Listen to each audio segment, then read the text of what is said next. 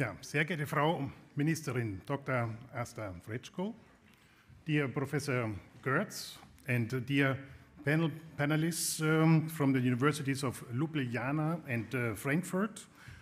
Yeah, dear audience here in the room, and also the audience who is uh, looking at the um, streaming or the video later on. Um, yeah, I would like to welcome here in, uh, on behalf of uh, the Presidium of Goethe University to this um, um, special event, Ideology Critique Today. My name is Ulrich Schielein. I'm uh, Vice President uh, of the Goethe University and uh, Chief Information Officer. So we are extremely pleased to have this exciting meeting of philosophers um, uh, talking, taking place on this old campus um, here in Bockenheim as part of um, the book fair and the program uh, of this year's Guest of Honor, uh, Slovenia. This is really a historically charged location.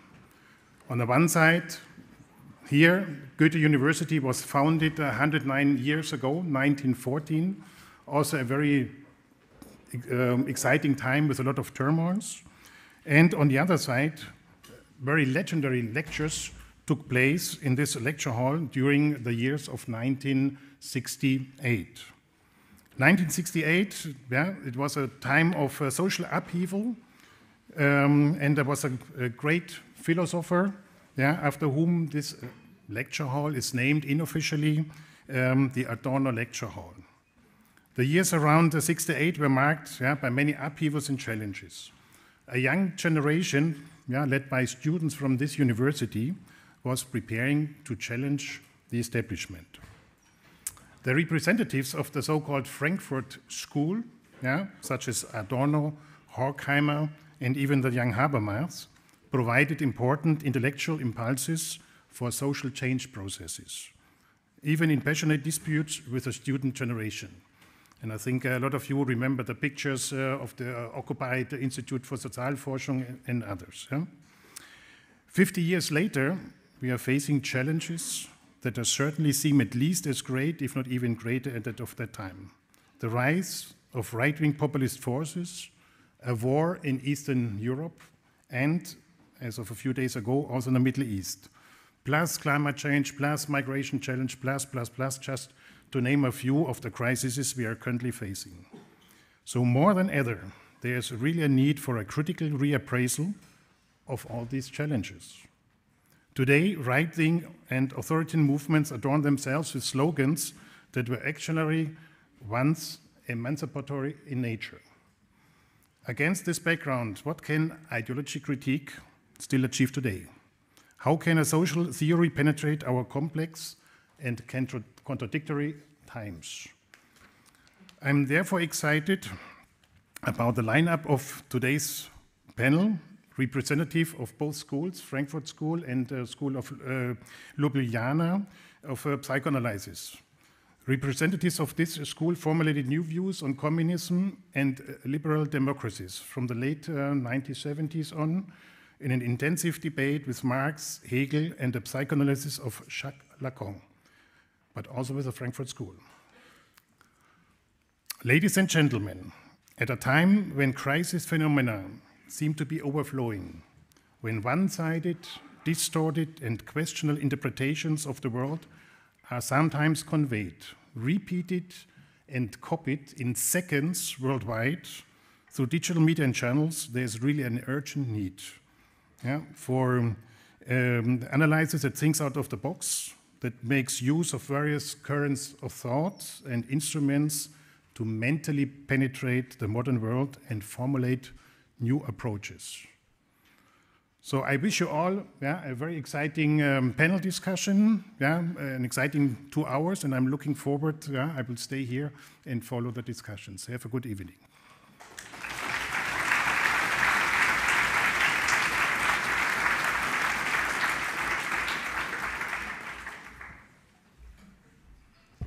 Your Excellency, Minister of Culture of Slovenia, Your Excellency, Ambassador, of Slovenia in Berlin, Your Excellencies, who I could not name and could not identify, all my dear colleagues, all writers and poets, all philosophers, dear audience. I'm only speaking three sentences. As a curator appointed three years ago for the guest of honor efforts of Slovenia at this book fair 2023, my first idea was to bring this, uh, this meeting about Frankfurt School meets Ljubljana School. How even this formation is possible to call people Frankfurt School and Ljubljana School, we will see in the debate.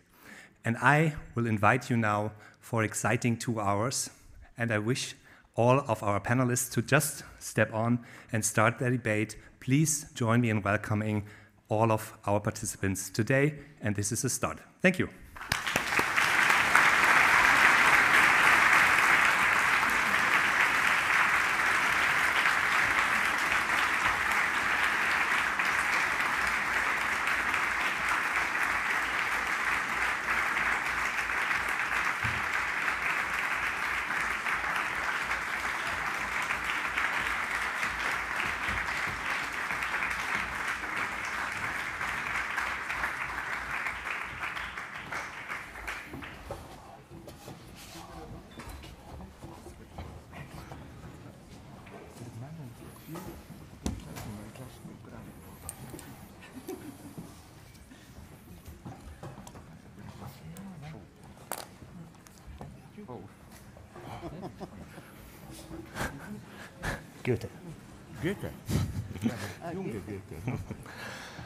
Hallo, funktioniert das? Äh, hallo Ihnen äh, und euch allen. Mein Name ist Frank Ruder. Ähm, ich bin Professor für moderne und zeitgenössische Philosophie in, an der Universität Dundee. Und ich werde jetzt gleich anfangen, Englisch zu reden, weil wir heute alle hier Englisch reden. Aber ich wollte zumindest die Begrüßungsworte in Deutsch äh, artikulieren äh, und mich deswegen aber nochmal wiederholen. Hello and good evening. My name is Frank Ruder, and I'm Professor for Modern and Contemporary Philosophy at the University of Dundee. And I will moderate this evening's panel discussion that will address the tasks, potentials, potential limits and limitations, and challenges embodied and confronted by different approaches to the critique of ideology under present day conditions that is in the contemporary world, if it still deserves this name. We have with us a group of illustrious speakers on this panel, and before I will briefly introduce all of them in a row, I want to give you a sense of what to expect from the coming two hours. We will, after I introduce each of them, hear um, from each of our speakers a seven minute, I insist, introductory statement. I bought this thing uh, with me. Uh, I will turn it. They will all speak longer, but I wanted to make them feel guilty. Afterwards, we will move through a series of themes that will highlight the dimensions domains of contemporary ideology um, and how to conceive of it and its intricacies, which will uh, give all of our panelists the chance to react to each other's opening statement and explore overlaps and agreements, as well as distances um, and or disagreements. And I will attempt to maneuver us through this in a more or less disciplined manner. We aim to also, at the end, um, have questions from the audience and open up the, the discussions. But now, to get started, let me introduce our speakers in the order in which they will present their introductory statements. To begin on my far left, Mladen Dolar. He was professor for philosophy at the University of Ljubljana, where he works now as a senior research fellow, and he's professor of philosophy at the European Graduate School. His most recent book publications include the German Die Phrenologie des Geistes, fünf Aufsätze zur Philosophie Hegels, just out from Neue Deutsche Französische Jahrbücher and present at the fair, and his English, A Voice and Nothing More. Rainer Forst is professor of political theory and philosophy and director of the research center Normative Orders here at the Goethe University Frankfurt. In uh, 2012, he was awarded um, um, the Gottfried Wilhelm Leibniz Prize of the German Research Foundation. His most recent book publication in German is Die Noumenale Republik from 2021, which is forthcoming with Polity Press, and Normativity and Power from 27. Alenka Zupančič is professor of philosophy at the Research Center of the Slovenian Academy of Sciences and Arts and professor of philosophy and psychoanalysis at the European Graduate School. Her most recent book publications include the German Was ist Sex?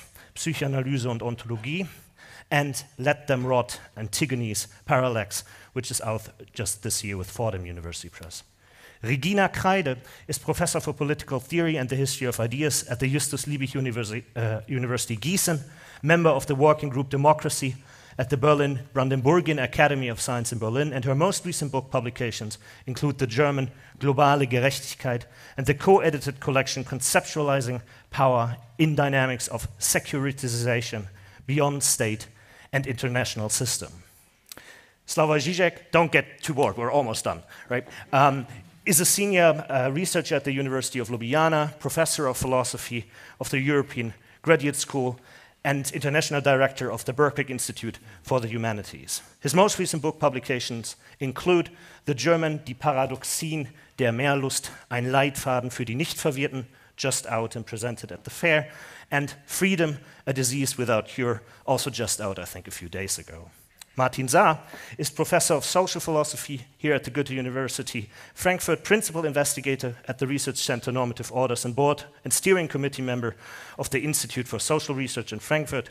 His most recent book publications include Die Immanenz der Macht, Politische Theorie nach Spinoza, um, 2013 and reissued 2019, and the co-edited collection Das Politische in brackets in der politischen Theorie from 21. In preparation for this panel, so behind the scenes, so to speak, and in a world in disarray, I asked each panelist to respond to what theory can still do today by asking them to, uh, to respond to the question, and that is the inaugural question Is ideology critique still possible today? We will now hear the first reply from Mladen Dolar.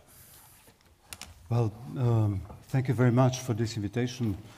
Uh, it's a mixed blessing of uh, seniority to be the first to speak, um, not a dubious privilege. Um, seven minutes is very short, so let me, let me go on with it.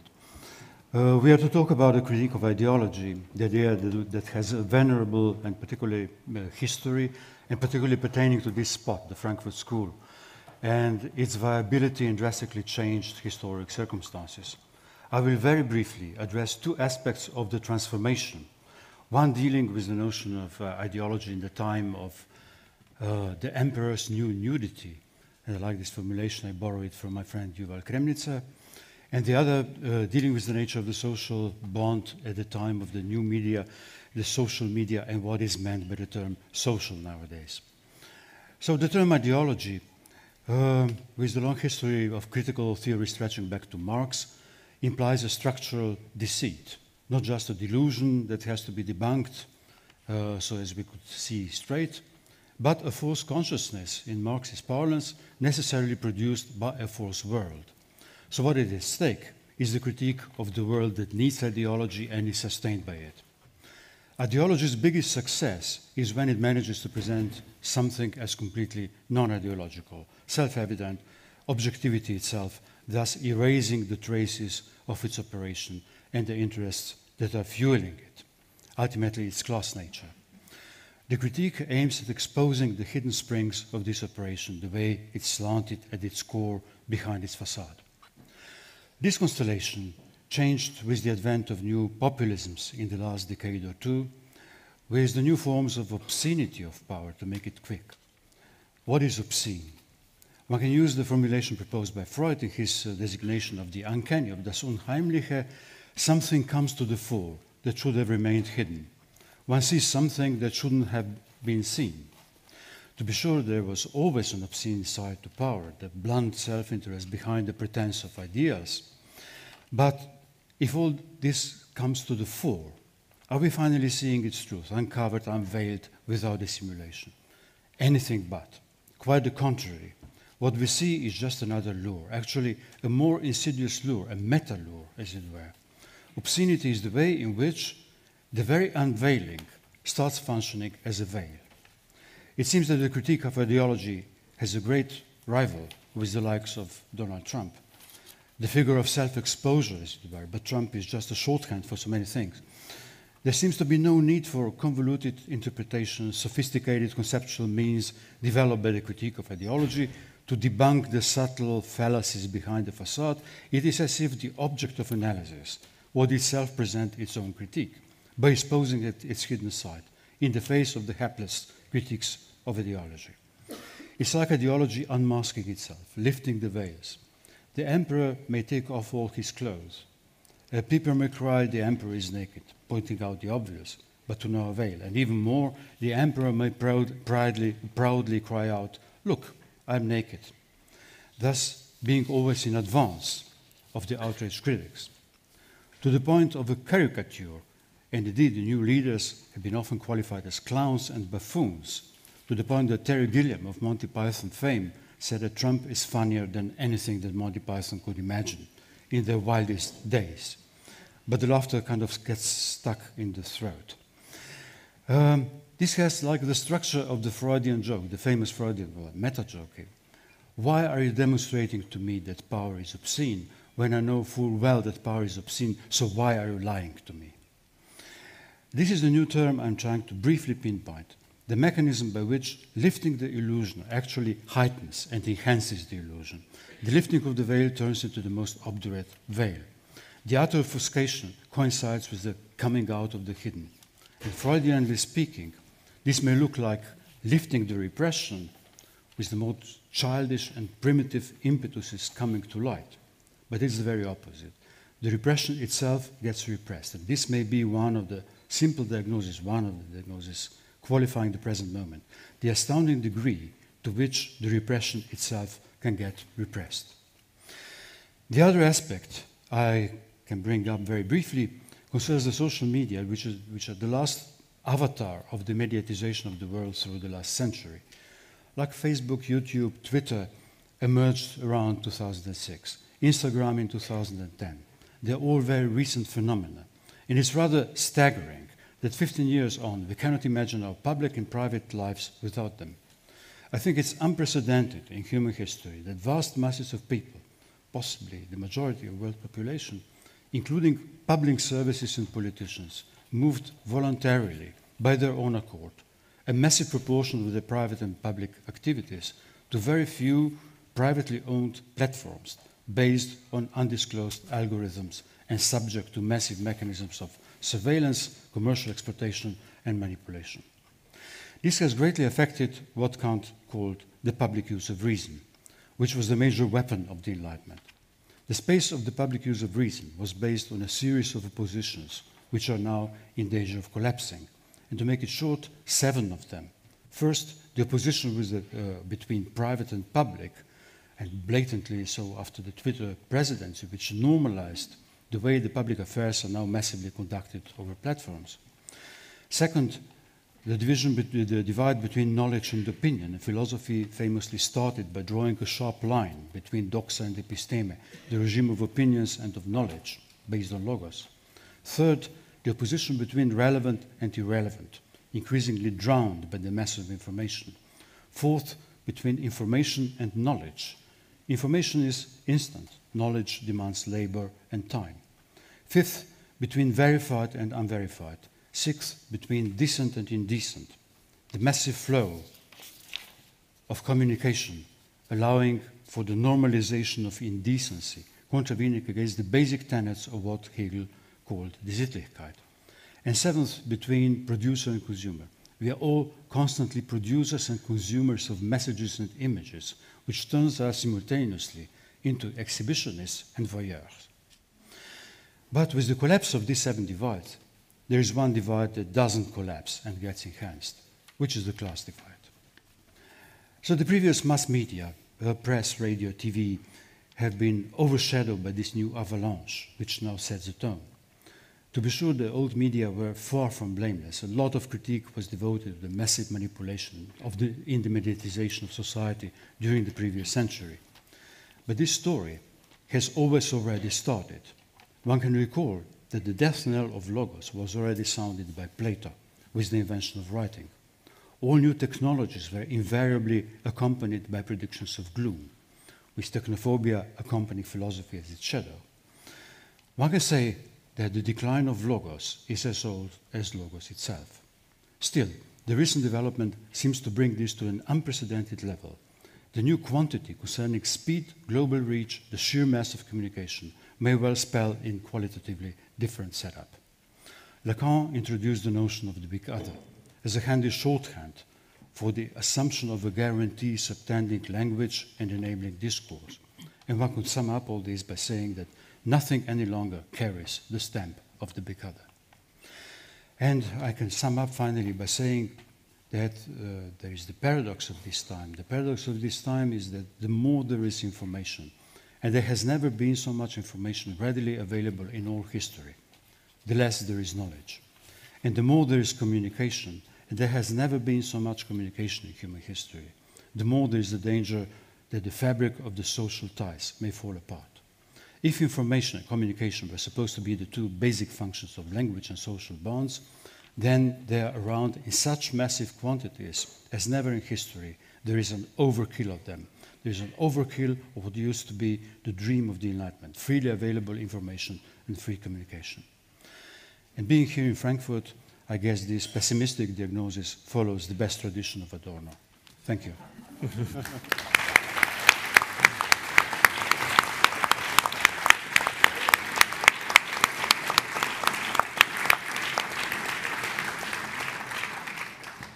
Wonderful. Um, you see, it worked. Seven minutes, 45, uh, 45 seconds of good. Um, so we will hear, we will hear next from Rainer Forst.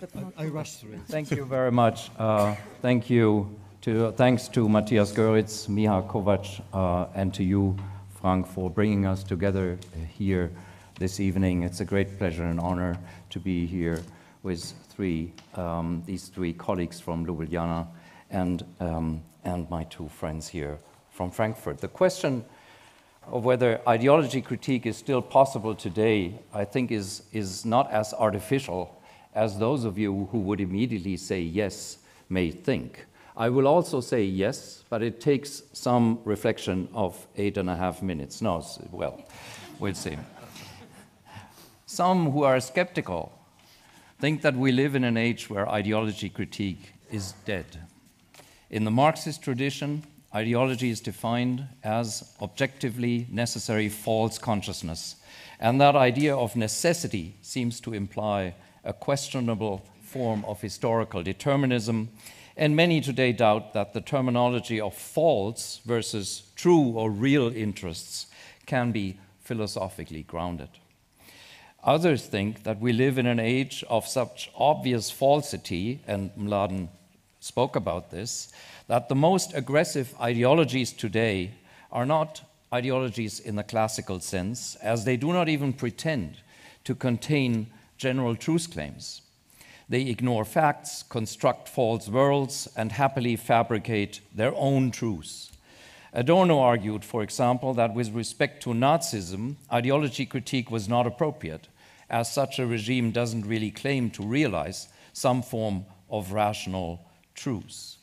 I recognize these points, but I don't quite agree with the conclusions. I think that we have to hold on to a form of ideology critique that replaces assumptions about true interests with the normative notion of non rejectable claims to moral and political standing as equals. So I think that is a normative standard we should hold on to. And I think that rationally deconstructing false worlds, including totalitarian ones, is a major task for critique today. Otherwise, we will not be able to analyze and criticize what I call normative Verkehrung, normative inversion or perversion as a form of ideology. What do I mean?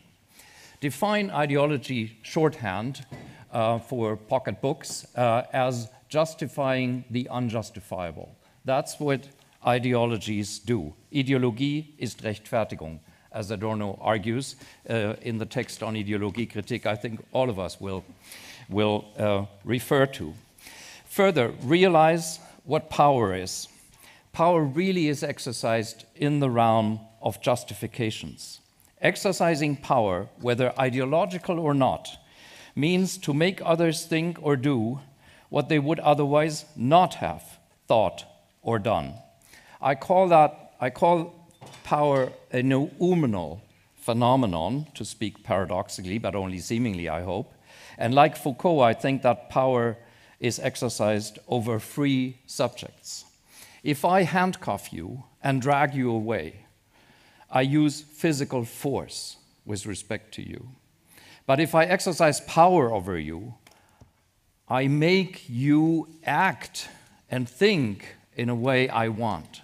So that's the difference between force and power. And to do that, I have to influence, determine, maybe even colonize the space of reasons that you operate, that you operate in. And how I do that, whether by a threat you find serious, a good recommendation, a great speech, an ideological lie, or a seduction, is a different matter. These are all forms of exercising power. If I exercise power over you, you remain an agent, right? There's something going on in the space of reasons you operate um, with. When I say space of reasons, I don't mean to push the affective or emotional out. I think the separation between affect and cognition is a, an artificial uh, separation. If desires motivate us, as they do, they motivate us because they have an evaluative point. So there's a cognitive aspect here, and I think the work of the Ljubljana School shows us very well how this uh, plays out, especially in the products of what the Frankfurters called culture industry. Now, I think that we live in an age of hyper ideology as a form of normative perversion.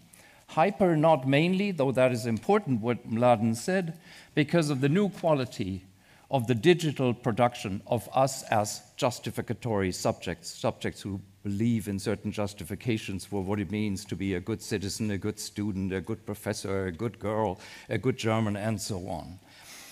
What I mean is a real Umwertung der Werte, to use Nietzsche's term. Such perversion goes to the heart of our social existence as it distorts our thinking on the ground.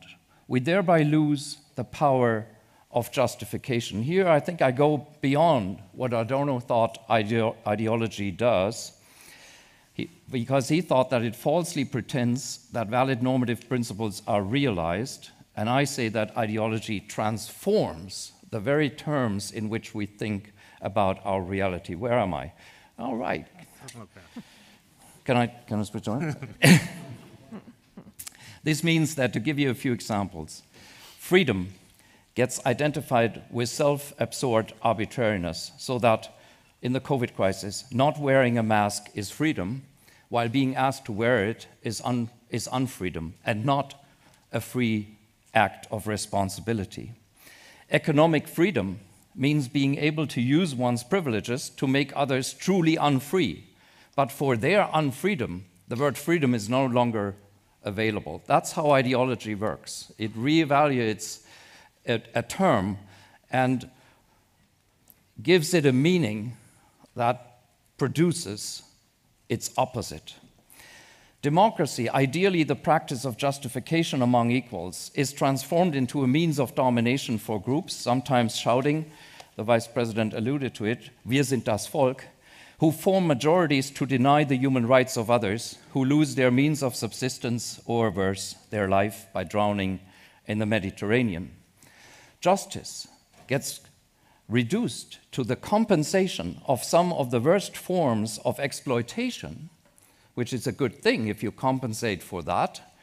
But the structural injustice that led to that is being left in place nationally as well as transnationally and so on. Uh, equality is presented as equality of opportunity, but the extreme inequality that, the, that people have at their disposal, the resources they have to seek opportunities, is not, is not thematized.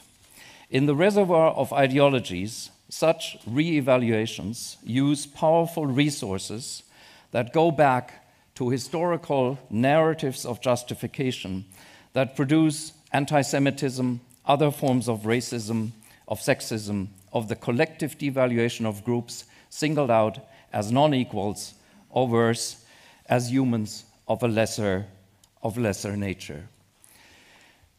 These resources get activated in concrete settings, and we see this at work in many places, especially in contemporary contexts of extreme violence. In Russia today, we witness a feast of ideology where a brutal war launched on Ukraine is justified as an act of anti fascist liberation, citing historical justice claims. We see it in another extreme form in Israel, where a vicious attack by Hamas on civilians who got slaughtered is defended and even celebrated as an anti colonial act of resistance aiming at emancipation. Ideologies constantly, I come to jump one more sentence, produce justifications of the unjustifiable, and they grow with the challenges of the time, if they are productive, and many of them are. What could not be justified becomes the dominant standard of justification, which is a perversion of reason. Regression is often the result of this, not just some form of regress, Rückschritt, but more seriously, a, a loss of the sense of being equals to each other, turning social facts of domination into normative facts. The true crises of our time, I think, are such justification crises where we forget what is justifiable and what is not. Emancipation comes in steps if things go well, steps in which we realize what we actually are and yet are rarely allowed to be normative authorities equal to each other. The program I'm suggesting holds on to a strong version of what Adorno called the Rechtsanspruch der Vernunft, the authority of reason, and to standards of truth, den Anspruch auf Wahrheit, without which any talk about ideology became itself ideological. Thanks.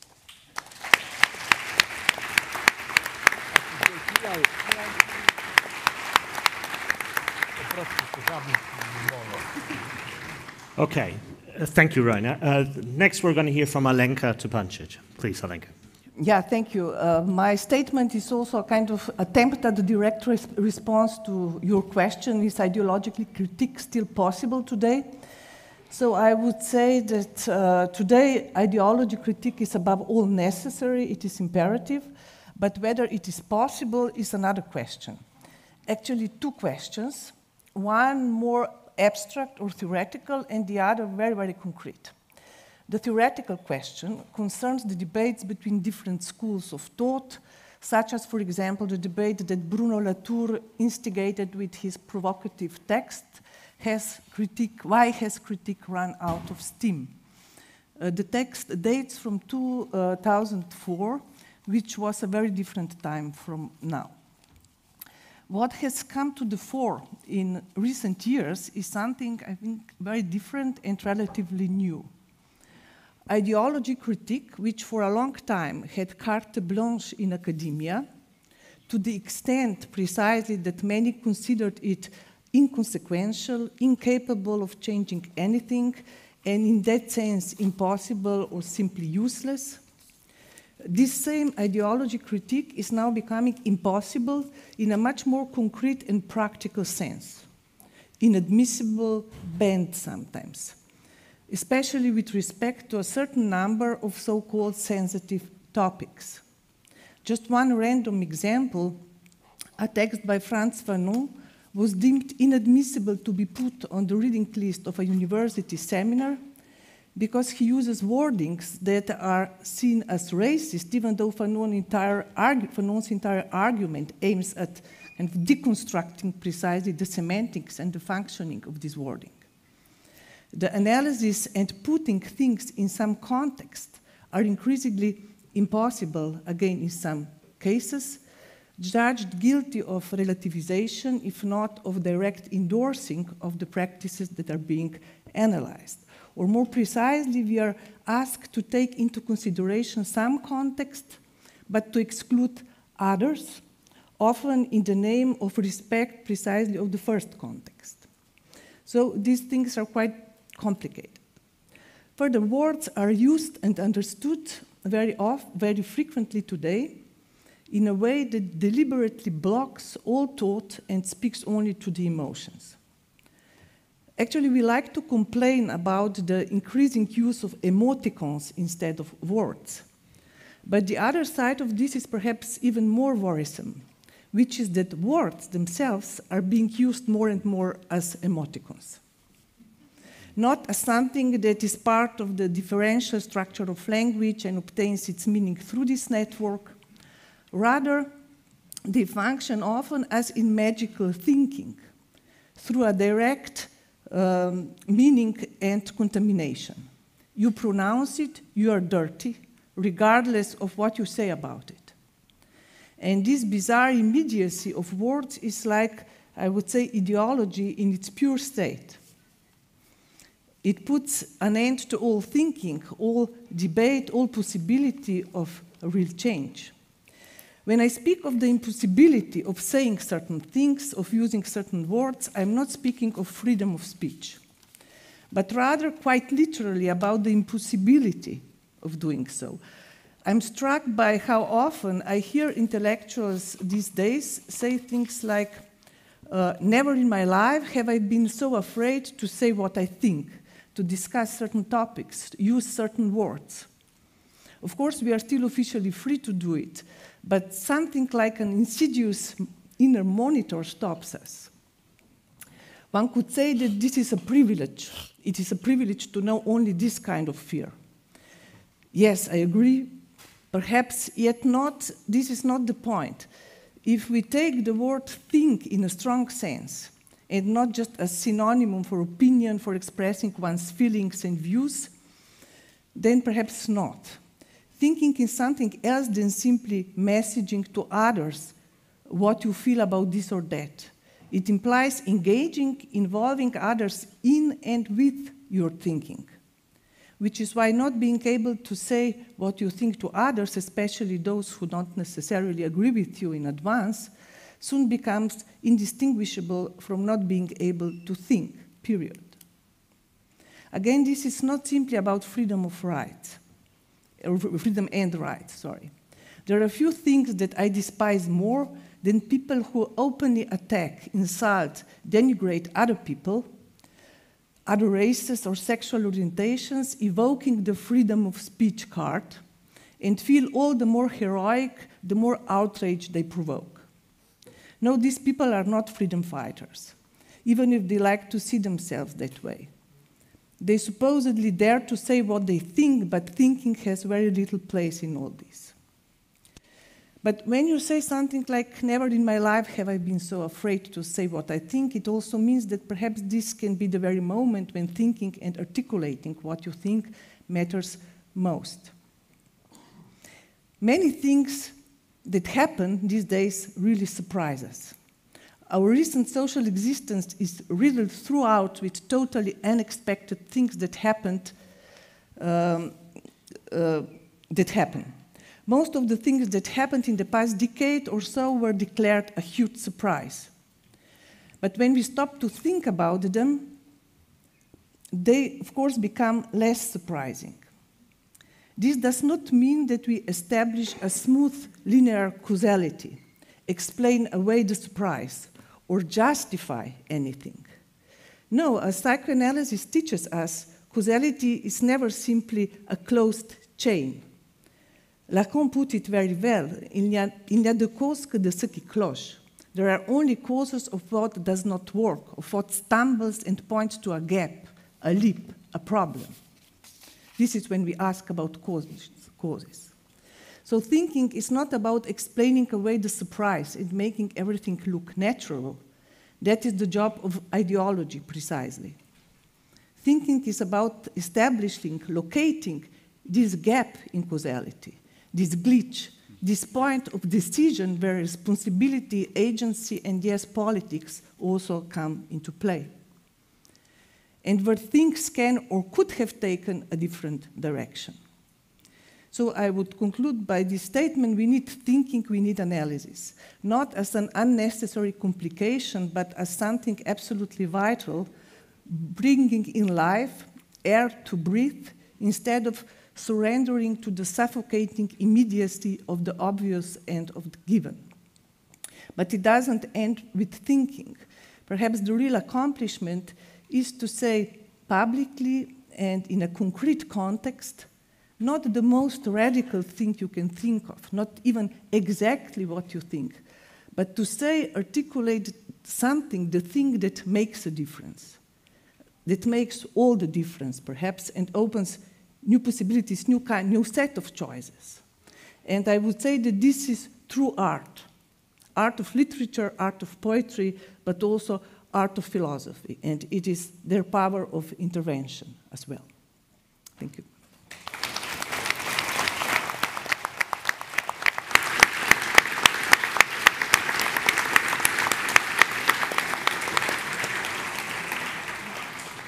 Thank you, Alenka. We'll, we'll next hear from Regina Kreide. Thank you. Thank you very much. Uh, for this, I will, yeah, I see the, uh, the clock time is running. And uh, I would like to answer the question as well, even though I start with offering you here three points. And two of them deal with the question what is ideology? So I think to answer this very difficult question, how ideology critique is possible, and I think yes, it is. I'll say something what ideology means uh, today. And that's also not an easy answer to give. I think, first of all, ideology is a great simplifier, but it's a simplifier with a purpose. The deceit nature of ideology is the plausible deception that has us firmly in its grip. But why is it so deceptive? Ideologies, and we speak in plural here, I think it's no longer the case that we can speak about the one and only ideology, but there are many out there. Um, neoliberalism, racism, sexism, anti Semitism, um, and um, so on. The description leaves untouched the most important parts of social reality, in which it, the pre- prevailing heterogeneity or the contradictoriness that's difficult for many to bear. That's, I think, one problem. Repelled by the sight of the other, by the sight of what threatens to escape its own closed system by the new description of the world, ideology reduces the other to its own image, to something similar, to um, sometimes very easy uh, romanticizing, sometimes brachial answer.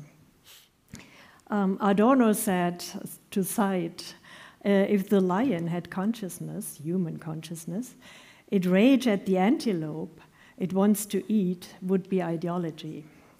So, ideology homogenizes the world by unjustifiable equating phenomena that are different from one another. So, that's the first aspect of it. But ideology, I said, is a great simplifier, but with a purpose.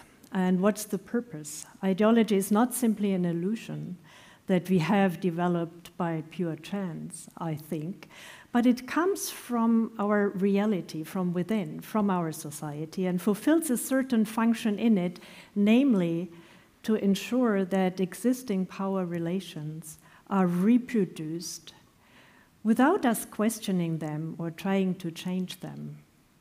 So that's, I think, one aspect of it. So, as an example, um, we live in neoliberal times, and that means to uh, have a certain idea of freedom that's purpose related freedom that focuses on the individual and the responsibility of the individual.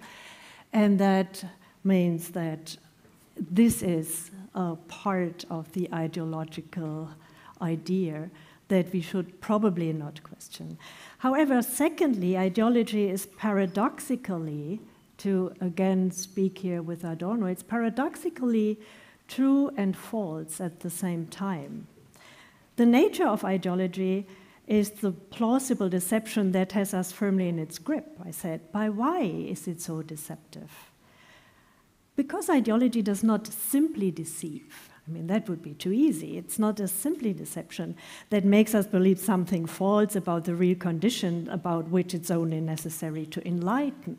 So that we could say, you know, if we have the good arguments, then we would see what's behind the scene. But it's more complex. It is paradoxically true and false. It's affirmative and critical at the same time. But how can that be?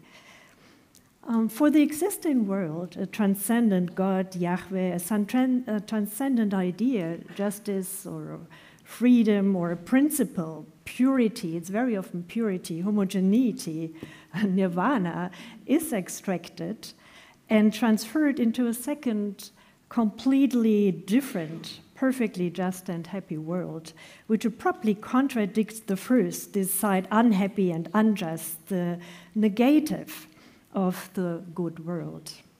At this moment, the existing contradictions of society between rich and poor, between freedom and unfreedom, security, insecurity, become an ideological reality. So they are part, they become part of our reality. So they are true on one side and nevertheless false on the other. In this way, there is a, a, a certain effect of those ideological thinking. It's allowed to postpone into the future the solution of pressing legitimacy problems like climate change impacts, like war or racism. So that's intractable in our neoliberal, late capitalist, imperial minded world.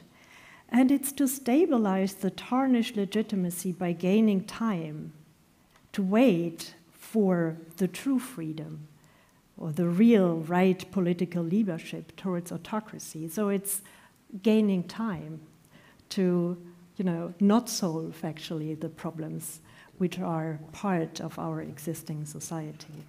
So that's the function. And yet ideology is false you can see this if you just look into people's heads and analyze what they think. This is one idea of ideology. But it's much better to look not just in people's head, what they think, but how the nature of such relations determine the thinking and vice versa. Which performance ideolo ideology performs in it.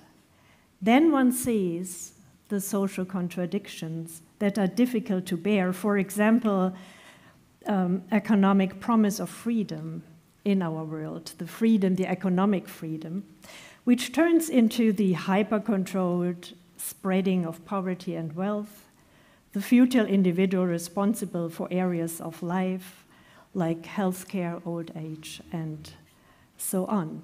What is the time? Ah, I have figured. And third, and yes, ideology critique is possible and if you think about what then would be a possible way to criticize these ideologies, aspects I have uh, addressed, then one can say, well, if we live in a permanent state of deception, who can ever look behind the scenes? Who can expose the false promises? There are many ideologies, but little ideology criticism at the moment.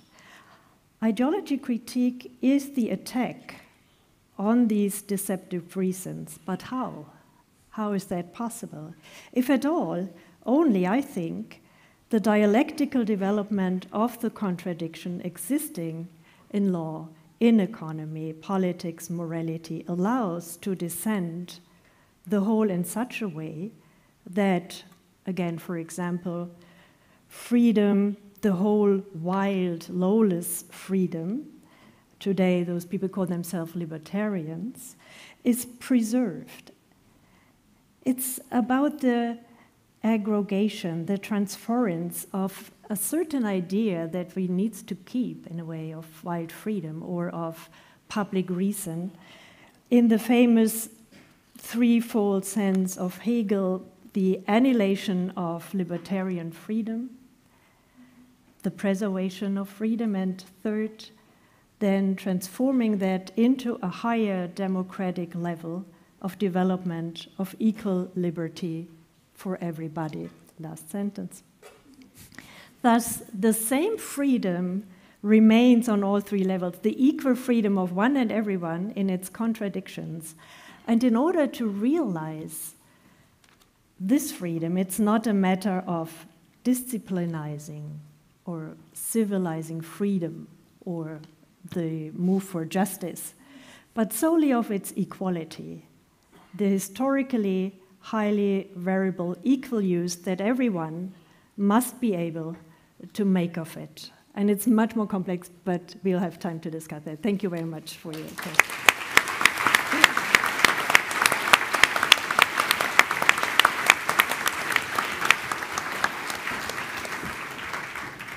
Thank you very much, Regina. Um, now uh, it's Slavoj Žižek.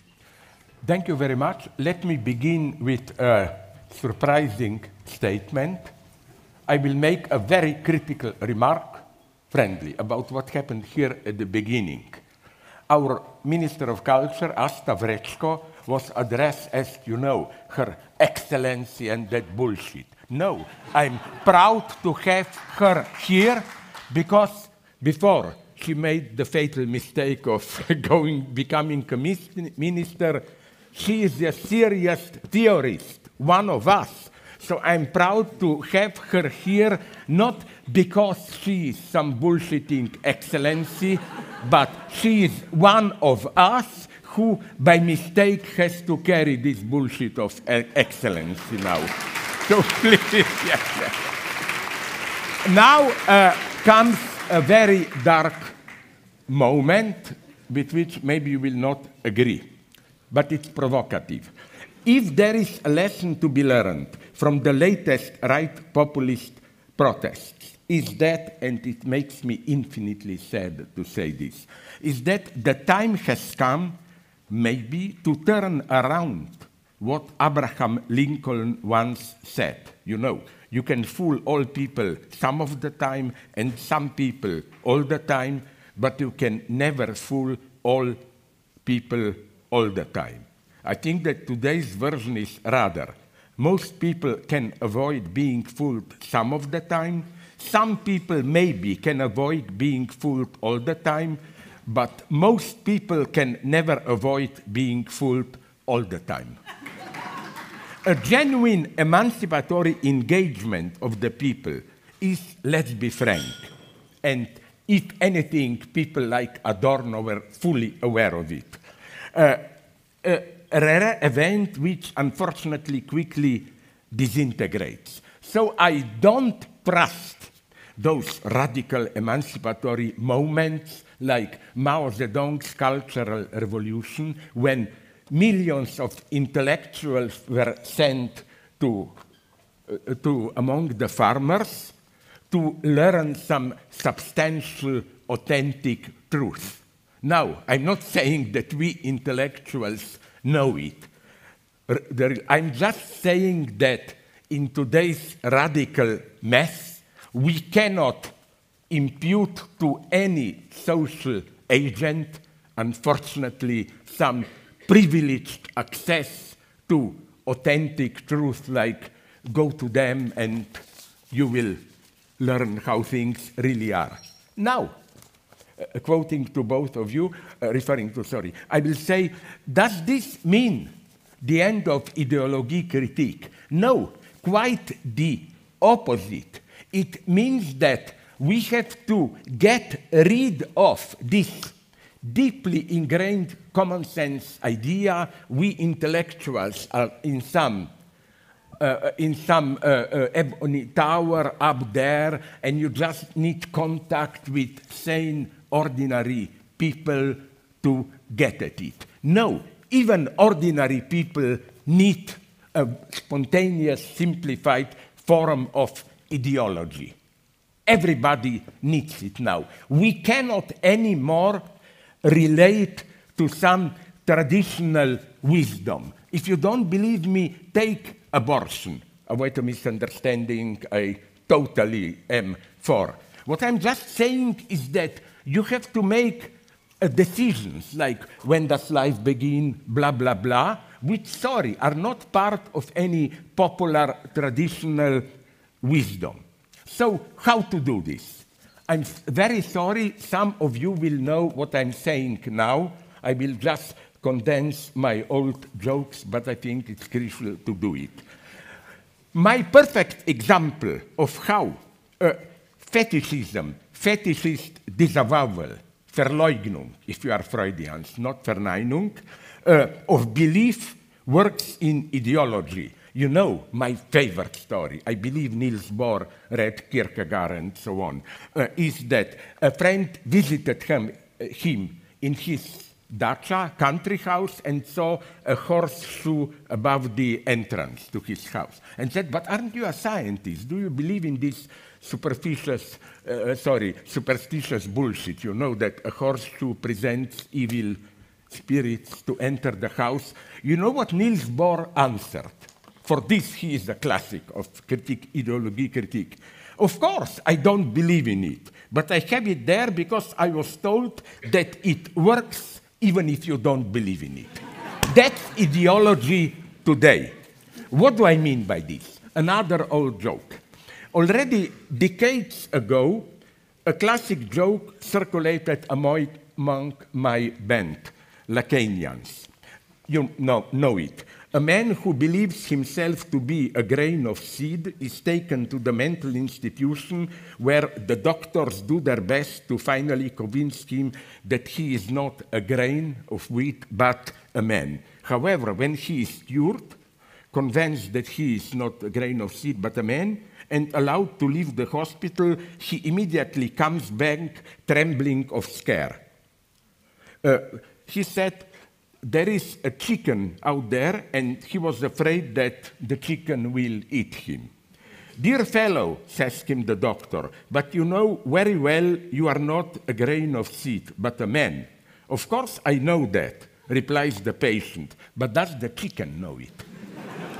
this is how, quite literally, ideology functions today. And here I see the actuality of the best known passage in Marx, which many people quote, but nobody reads in detail.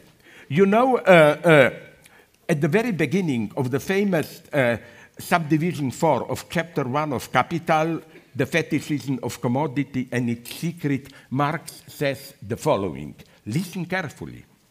A commodity appears at first sight an extremely obvious, trivial thing.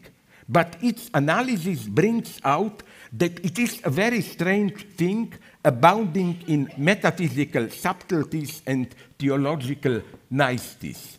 Are you aware what Marx is saying here? The exact opposite of our vulgar idea, even of Marxism, that theological niceties are our subjective confusions. We have to look at reality the way it is. No, Marx says in our everyday awareness, we think reality is out there, simply there. Theological niceties are part of our, and I think uh, if I refer to others uh, here, uh, um, they already also pointed this. ideology today is not so much part of our awareness. It is fully integrated into our reality itself. A typical, as Marx knew it well, bourgeois individual is usually not a Hegelian metaphysician. He is a totally sane British utilitarian, haha, there are just uh, real things out there who. But when he is socially active, he acts as, as if he believes. So we can easily imagine the same joke applied to Marx. Let's say I'm caught in commodity fetishism. I go to a critical Marxist psychiatrist who tells me, uh, no, but you know, uh, uh, there is no, uh, uh, that, that uh, commodity fetishism is just an effect of social relations and so on. And then I run out and go, leave the, and come back claiming, uh, uh, uh, of course, I, I encountered a commodity, I'm in a panic. Then the doctor tells me, but don't you know commodity is just an effect of social relations? My answer is, of course I know it, but does the commodity know it? Marx says this literally. Read Capital in detail when, at the beginning of uh, at the beginning of, uh, uh, uh, uh, uh, sorry, in the middle of chapter one, his crucial theoretical twist is introduced by words, and it's crucial. Imagine two commodities speaking with each other. Of course, this is an illusion, but you see my point. I will not bore you by, I hope you know them, by my even more vulgar old joke you know. Your German toilets, they are German metaphysics, no? Do you still have toilets like this where the, the, the sheet is displaced there and you go through your dirty rituals, you smell it, blah, blah? French, French toilets, revolutionary. Hole in the back, flush disappears. English toilets, British, utilitarian. Sheet flows there a little bit. Sorry, I spoke with many architects and so on, and they told me there is no explanation. It's everyday ideology at the most vulgar level. Now, to conclude, yeah, uh, you know uh, what this means, what others already hinted, that we live effectively in an era of cynical reason. But one step further from Sloterdijk. Sloterdijk did a nice thing when he turned around this. Sie wissen das nicht, aber sie tun es, as you know, into. Sie wissen sehr wohl, was sie tun, aber dennoch, sie tun das. Now I am always male chauvinist, stealing, especially from women. Alenka made in a text a wonderful distinction here. She said, Eh, fetishist Verleugnung is not just this standard, je sais bien, mais quand même.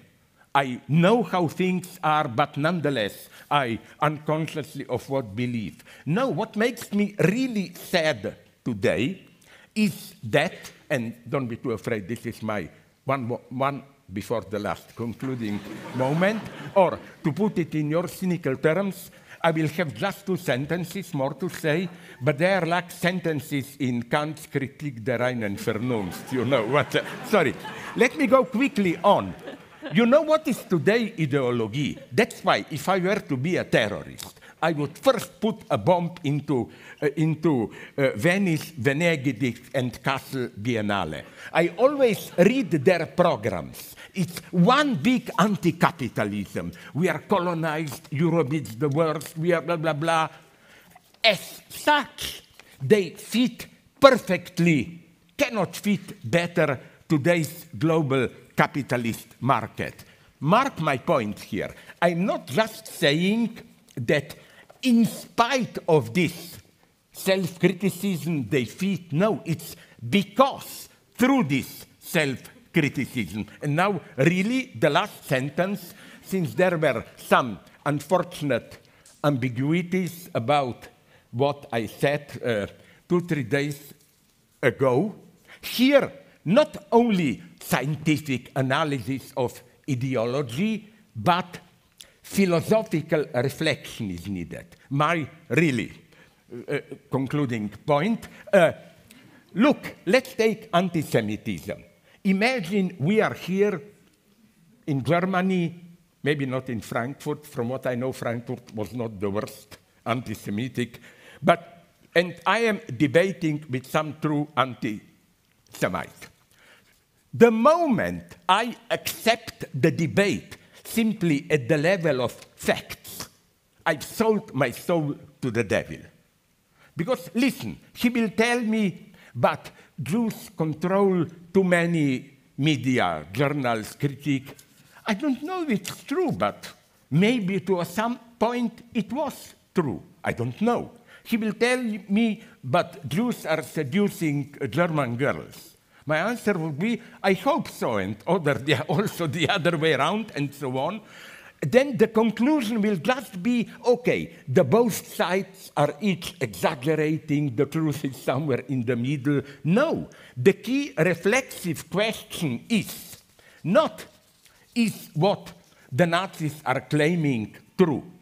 We should also clarify this, yes, but the true question is Why do the Nazis need something like the figure of a Jew to assert their identity? That's the problem. Why do they need a Jew? Here, thinking begins. Vielen Dank, Genossen und Genossinnen. Thank you. How much did I get? Ah, two, three.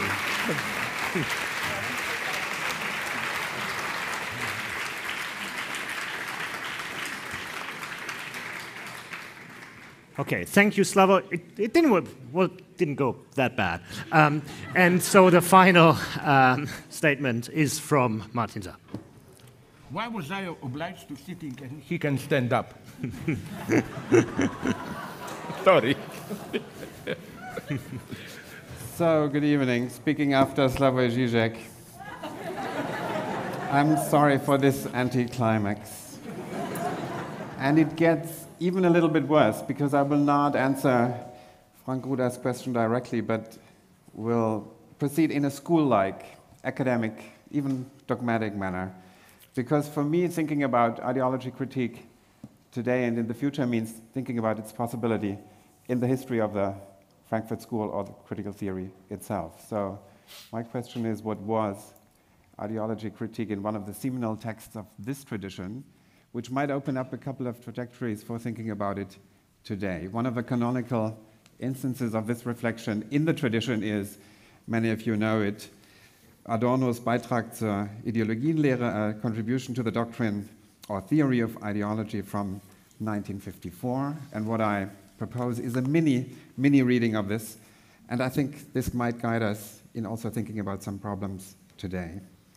I have three points. The first, Adorno urges us to treat the problem and the concept of ideology to be historical in nature, expression and reflection of their own time and conditions, making it necessary to distinguish pre bourgeois from bourgeois ideologies and times and adapt the schema to contemporary, this is 1945, 54 conditions. There is a time when it was absolutely crucial to demand the realization of particular values like freedom and equality, and a time when it was sufficient to show that these promises had been made but broken. But there's also a time where it's not even the pretense of aspiring to realize them anymore, where inequality and domination are so blatantly visible, not concealed but manifest, that there is not even a specific ideology that would try to manifest this. And this is what Adorno thinks is true in 1954. So, this historicity of the problem of ideology might make us suspicious whether it remains an adequate concept for social critique. This is Adorno's position. Distracting from the real problems, namely a social and political world that has practically, materially unleashed the sheer force of class domination, social discipline, and psychic submission. In Adorno's words, the social totality itself has become untrue, a systemic, as you know, Verblendungszusammenhang, for which specific ideological moments might be functional but not essential. And this might mean that, for example, analyzing neoliberalism as an ideology is not the full story. Uh, neoliberalism is much more. It's a practical functioning system and a mode of government. It does not even conceal or manipulatively lure subjects into obedience without knowing it. It operates through sheer coercion. Second, Adorno attacks bourgeois theorists of ideology like Pareto and some contemporaries, but also Scheler and Mannheim, for ultimately remaining committed to a subjectivist conception. This error for Adorno at the time is the signature of bourgeois thinking, and it has far reaching consequences for the study of ideology, which must not, in his sense, be watered down to the study of Weltanschauungen or public opinion.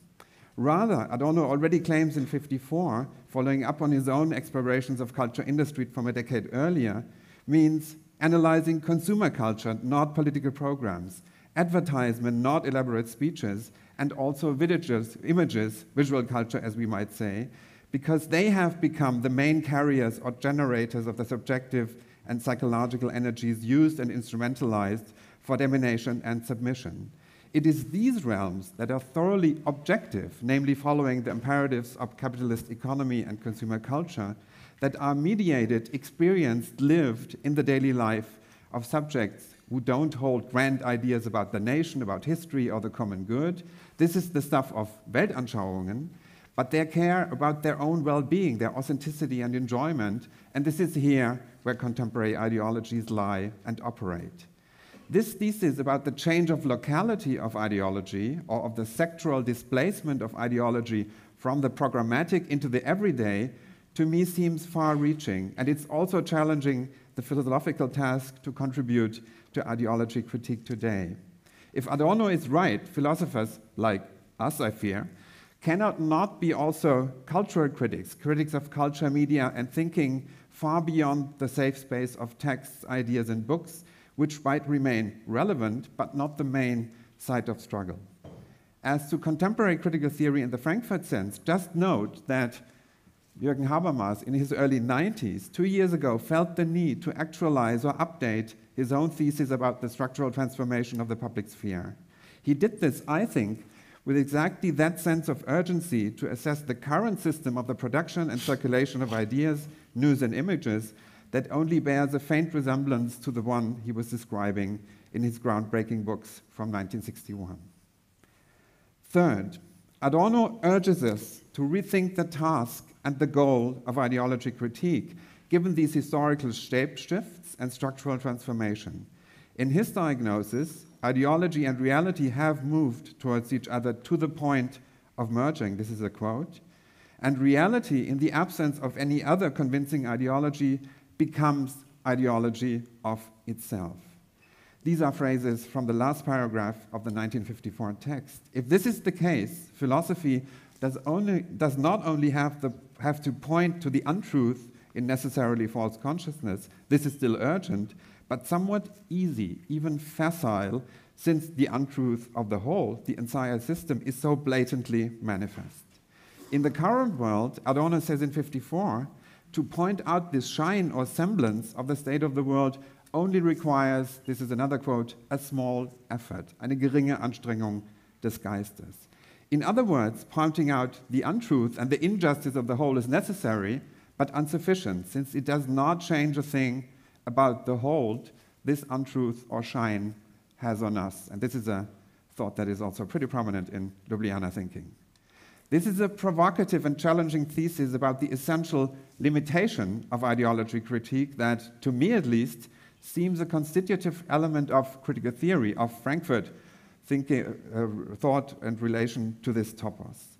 It is also, I think, a commentary about the essential limitation of philosophy, of thought reaching its limit in fully grasping, let alone educating, let alone liberating social reality, political subjects, human beings.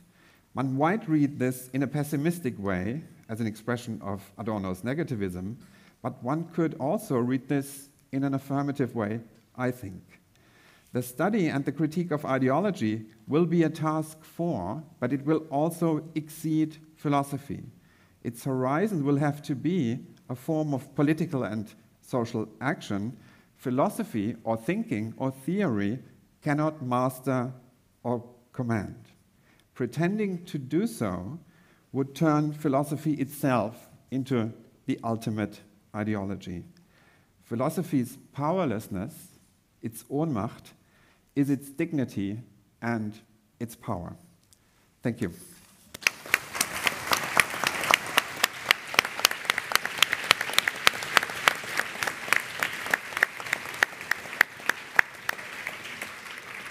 Um, thank you very much, uh, Martin. Um, I think there was um, a lot of interesting overlap in the description, I think, uh, that were given. Uh, we heard from Rainer um, the problem or the description of uh, the normative inversion or the perversion of reason which justifies the unjustifiable. Mladen emphasized the move into uh, the obscenity in public discourse. Um, that is sort of, as Slavoj pointed out, um, um, reliant on, on, an operational fetishistic disavowal.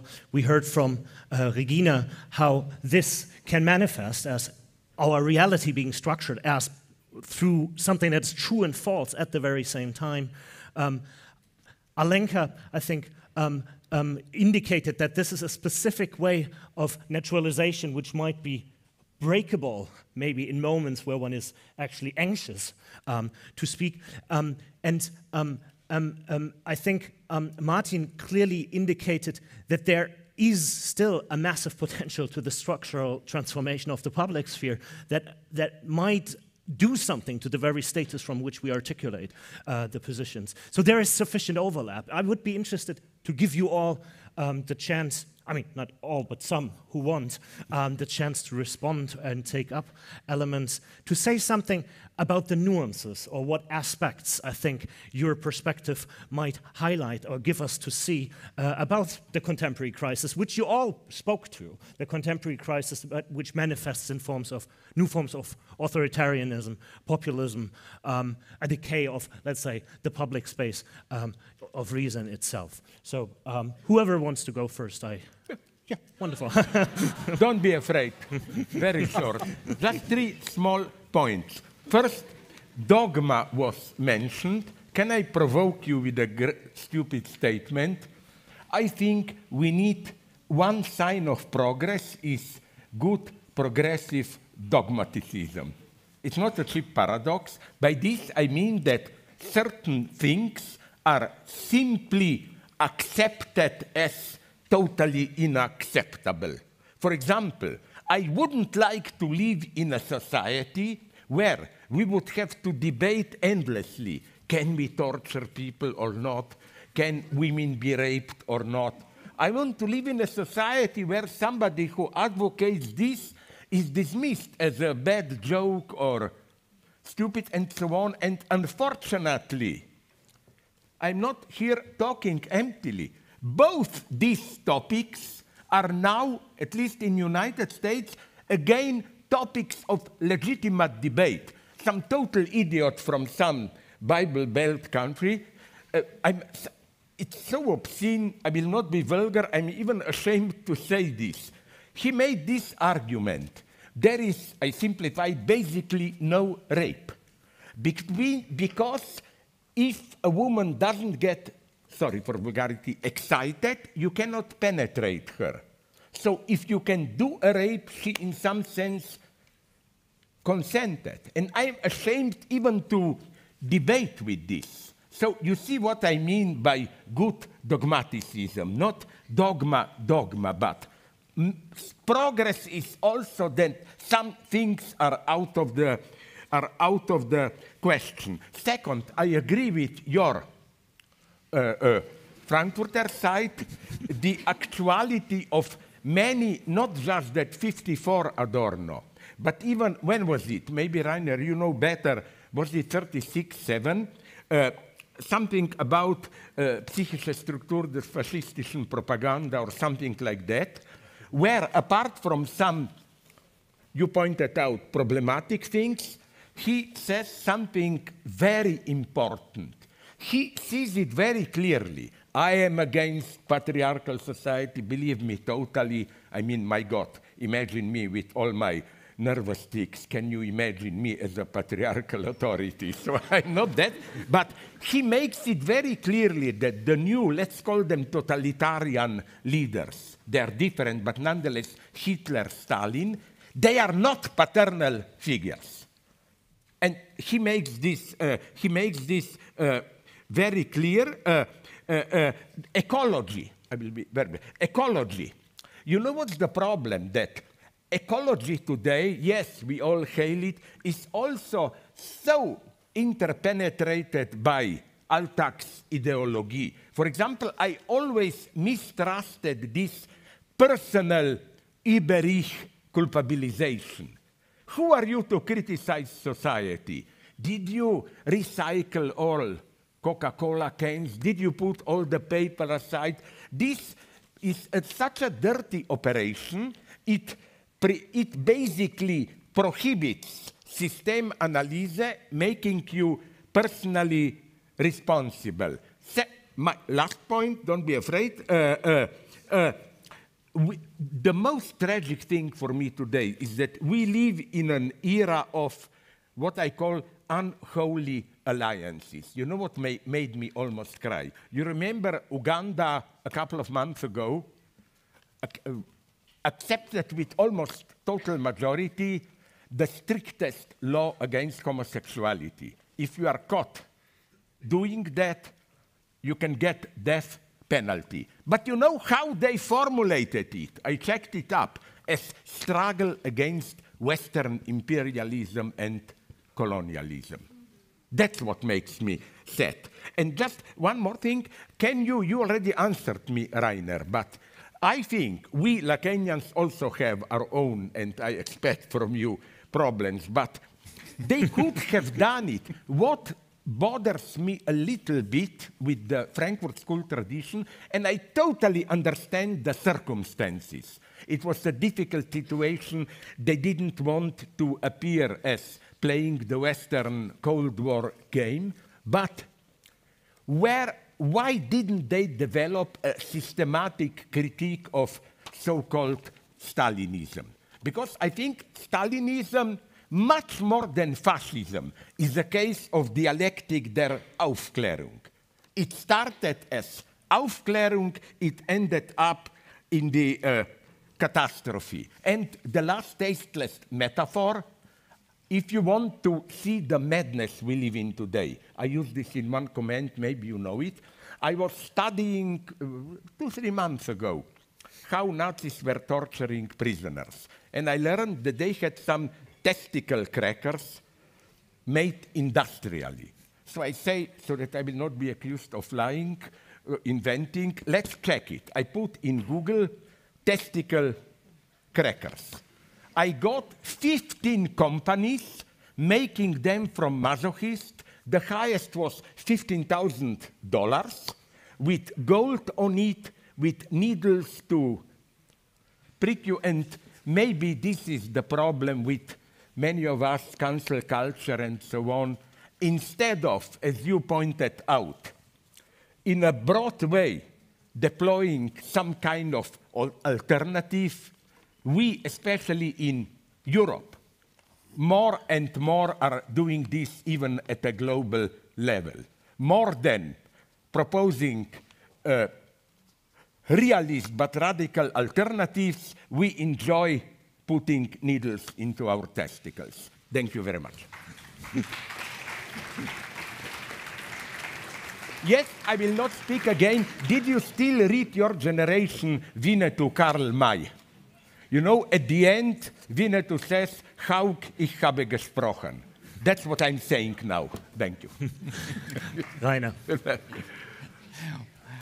well, I want to, I don't, I don't, we, we talked about the question of, of um, a, an analysis of Stalinist society uh, on the way on the way over here by the Frankfurt School. I think I think you find you find a lot of tools and conceptual possibilities yeah. Yeah. for analyzing that dialectic uh, of enlightenment. But I think uh, the Frankfurters, um, that's just an explanation, not a not an excuse. The Frankfurters were aware of the Zeitkern yeah. in which you do theory. Uh, and I think the Cold War situation uh, in the 50s uh, made them, on the one hand, be quite outspoken outspoken and quite firm on um, uh, Stalinism. Uh, and I remember lots of stories that Habermas told me about the relation to Ernst Bloch and others. Um, but they did not uh, develop a theory of what, at the time, Hannah Arendt and many others did, a theory of totalitarian society, which would be applicable to fascism uh, and uh, Stalinism. I think they were careful uh, that this could be uh, interpreted as a, uh, a, radical critique of socialist ideas um, being perverted into, uh, into their opposite, such that these ideas themselves were thrown uh, to, into the waste basket of history. But that's just a um, a speculation. I, actually wanted to highlight two things. We were all defending ideology critique uh, as a possibility and a necessity, with uh, Alenka um, reminding us that if you believe it is necessary, you're not yet there to explain how it is possible. And, uh, and I wanted to highlight uh, a few difficulties here. I think many of us um, have uh, stressed that ideologies, if they are successful, constitute to a good part and extent, and I say, I don't say completely, otherwise we couldn't, we could never be critical of it, but they constitute what Hegel calls second nature. And so coming gaining a critical distance toward ideologies is gaining a critical distance to a lot of things you grew up with, hold dearly, think is natural, essential, important.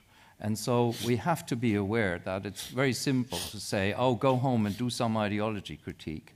Uh, but there's a lot of things uh, you need to question, and you need to question about, uh, about yourself. I think we are in a period where certain assumptions about um, uh, ethnicity, about gender, and so on are being subverted, and you see how many of your beliefs that you thought at some time had been critically tested were reproducing stereotypes you were not aware of. So that's one difficulty. The other difficulty is, I think many of us um, used um, notions of reason, the public uh, use of reason, um, and, and so, so ideology critique seems to be a rationalist enterprise. It isn't just pitting some values against their deformation in reality.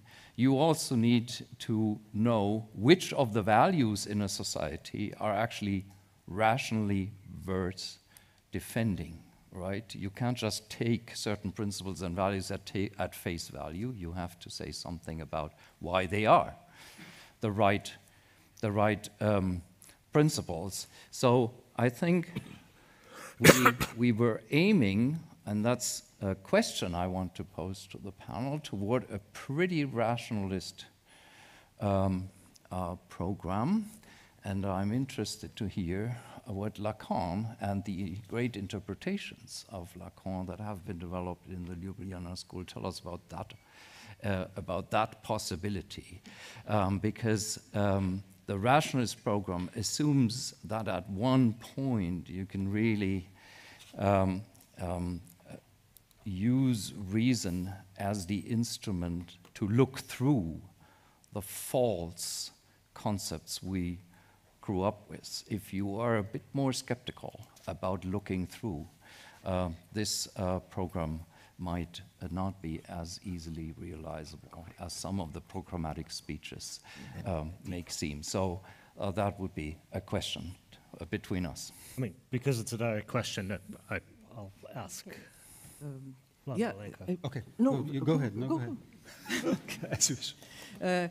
No, just perhaps two very quick rem uh, remarks or responses to this. I mean, first of all, uh, obviously, the Lacanian perspective exposes uh, this divide between uh, reason and some un passions and drives as precisely untenable. That this is not something that you can, a divide that you can make, and that this divide itself is already let's say, ideological in the sense that we were discussing before. And by the way, I have stu Iranian students who coined this very interesting uh, phrase, namely, um, one unites into two. There are certain divisions which are needed precisely for some kind of monolithic structure to be maintained. And these are four false divisions. And I think, and this came up in the uh, many of the things that were said before, uh, what also Slavoj called, and I'm working on this question now recently of disavowal, and this, uh, what we are dealing with here in this kind of strange obscurantist, it looks obscurantist, to believe that even that you know, but you still go on, in all the more so if you know. Uh, what we are dealing here, with here is not some kind of return of uh, deep suppressed passions. This is rather a kind of perverse form of reason. It's a perverse form of knowledge. So it's uh, here that the, the, two really meet. It's not that you can simply rationalize this away, and the, the more you try to do so, uh, the, the more perverse it gets, actually, in a way. So I think this is, uh, and perhaps then uh, Mladen, I think, can say more. I would just add one more thing in relationship to these ways in which we respond to all these crises that we were discussing.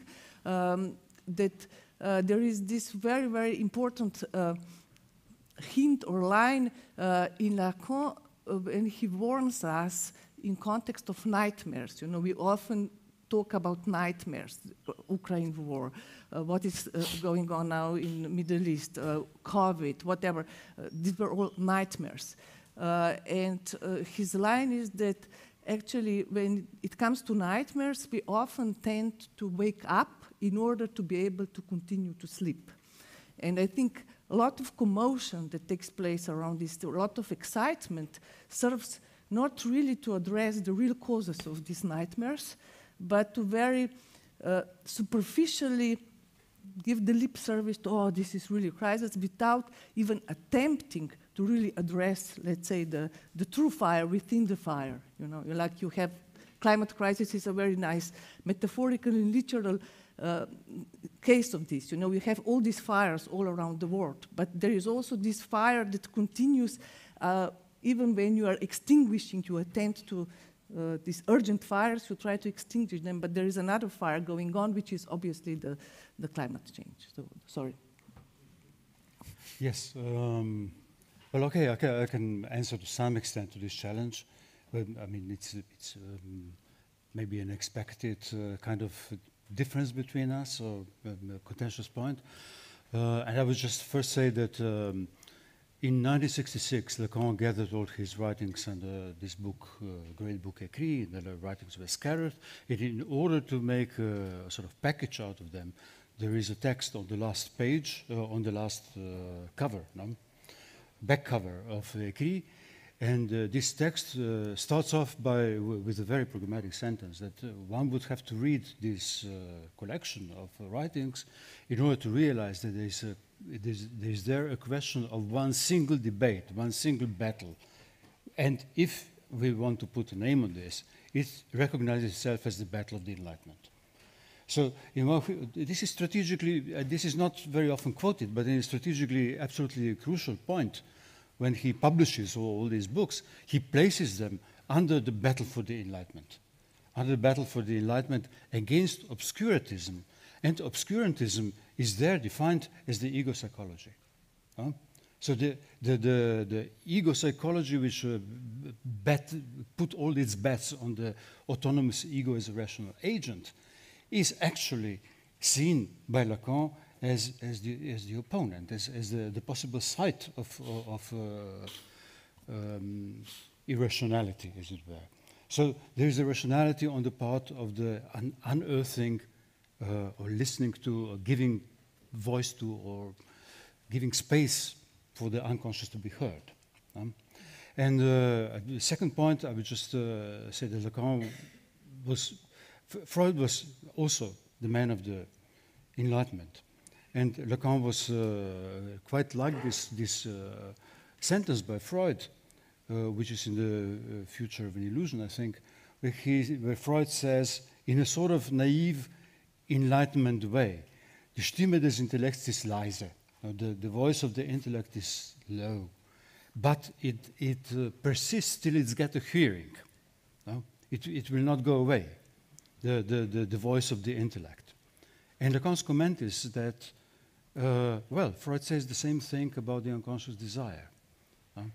That uh, it, it, persists until it gets a hearing, the unconscious. And uh, so the alliance between the two, between the Enlightenment uh, uh, sort of belief, um, optimistic Enlightenment belief in Freud, and this other side, the, the the, the, the, moment of truth which is in, uh, contained in the unconscious and which which is a precarious truth. It's an errant truth. Uh, so this alliance between the errant truth uh, and the universality of reason. This is, this is the point that, uh, this is where I think psychoanalysis stands in regard to this question. Can One just one, ju- really, just one, uh, no, because it, it's directly related to what Nadia said.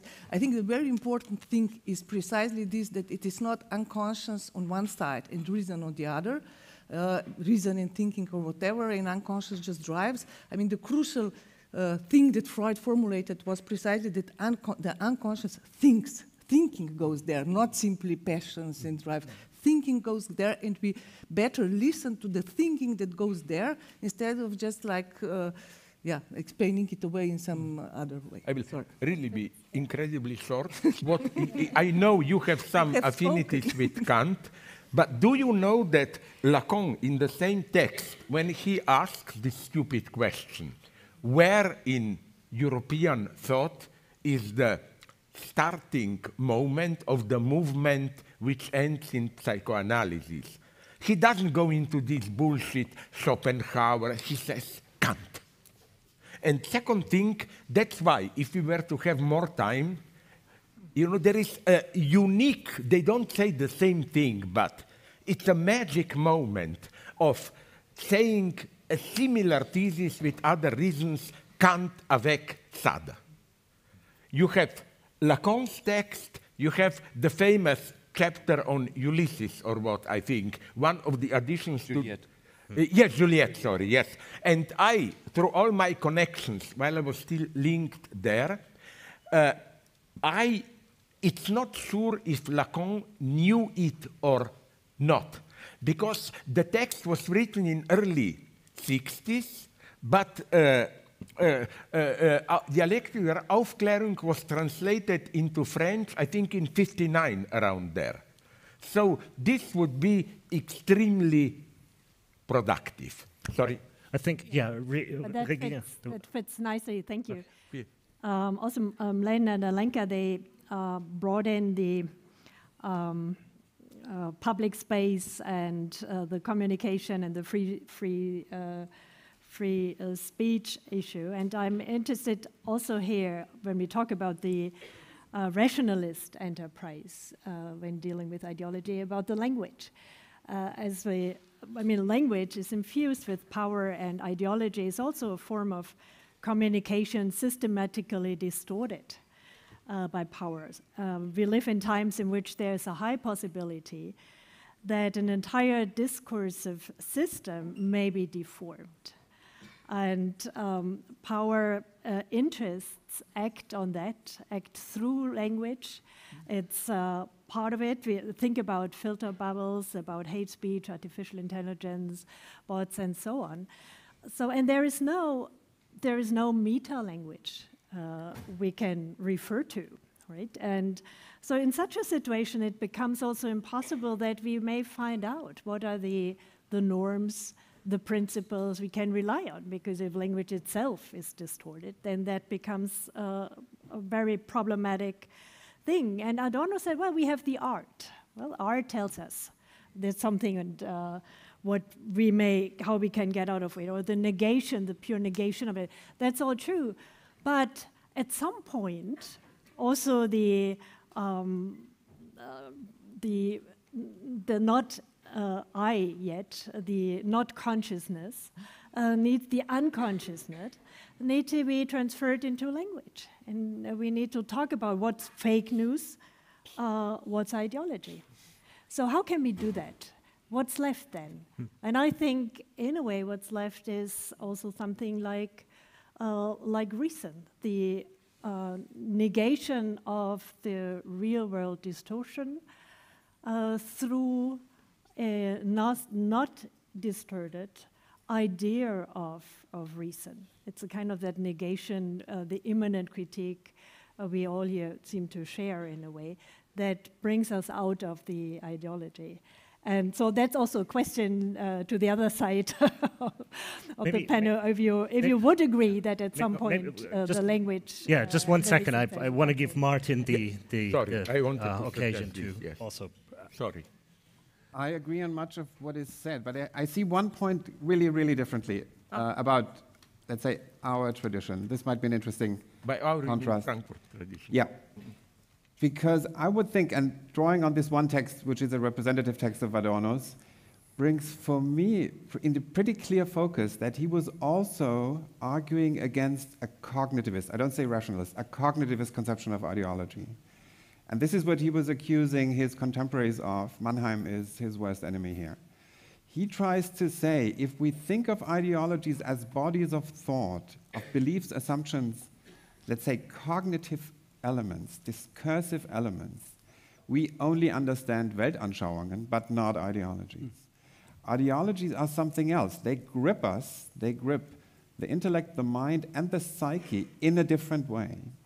He wasn't very explicit how to spell out how this grip worked, but it's clear that he has a more Freudian background assumption that this will be a, a, a mechanism of psychic gratification. And this goes back to his own analysis of uh, fascist propaganda from the 30s and 40s, Slavoj was pointing at. So I see him of moving away from a cognitivist, idealist conception of ideology that focuses on the content of the ideological, and therefore I see a congenial Verwandtschaft with Ljubljana and the Lacanian approach of thinking this through the psychoanalytic means, which, as you all now stated, is not irrationalist or anti rationalist, but in a way has a different picture of how someone under the grip or in the spell of ideologies becomes what it is. And this will be also for me more a question of, let's say, subjectivation than of adopting a certain set of beliefs or a doctrine. And therefore, for Adorno, the old ideal, ideological systems like nationalism are in a way exhausted. And therefore, he has this weird thesis in 54 that maybe ideology critique is not so relevant anymore and has to be replaced by, complemented by other forms of theorizing, and by the way, mainly not by art, but by politics, by restructuring practices and, let's say, worldly realities.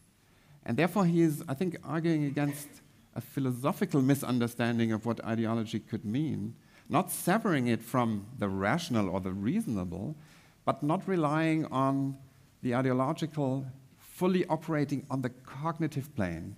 And this, for me, seems an important insight that, for me, is predating, by the way, some of the Lacanian and uh, Ljubljana innovations from the 1980s and 90s. Can I, I will just very, very quickly give Rainer wanted to add a thing, and then you get to respond, and then I think I suggest we open up already. Yeah. To the people. Yes, of course. But, but I must tell you, we are here representatives of the people. we know better than you what you want. okay, sorry. Exa exactly. Uh, I, since we we may also have a bit of a dispute on the Frankfurt side, uh, ah, I think I think that I think that expected. sorry, can I? Um, I think that distinction between the cognitive and the uh, what is in the psyche mm. is an artificial distinction. And here I'm with uh, uh, Alenka and, and, uh, and the others. If ideology were not a force of subjectivation, which constitutes us, as I said, in our thinking and feeling, it wouldn't be as deep seated as it is. But if we had no chance to understand how it does that, that it, it colonizes our realm of justifications, and if we had no chance to distance ourselves from these justifications in a justifiable way by the use of reason, ideology critique wouldn't be possible, right? And so the whole enterprise is to understand how the discursive elements of, uh, of ideology form a unity between the effects, between our bodily experience and our thoughts about who we are, and to, and, and to denaturalize um, this, com this complex. And then to say, oh, there's, there's a cognitive I can address, a cognitive dimension I can address, an affective or unconscious one I can't address, I think would be a severe problem uh, for ideology critique. So when Adorno says the Ideologie ist Rechtfertigung, I think he means Rechtfertigung is not just a simple cognitive, Yeah. like a mathematical formula, right? It's about what you have an investment in as justifiable and need to distance yourself from um, by understanding that it is not justifiable. So, so that's just a, s- a, a, a, a, uh, with the Ljubljana um, uh, school, an intervention not to distinguish intellect, uh, mind, and psyche as separate aspects of where ideolo- ideology is to be found.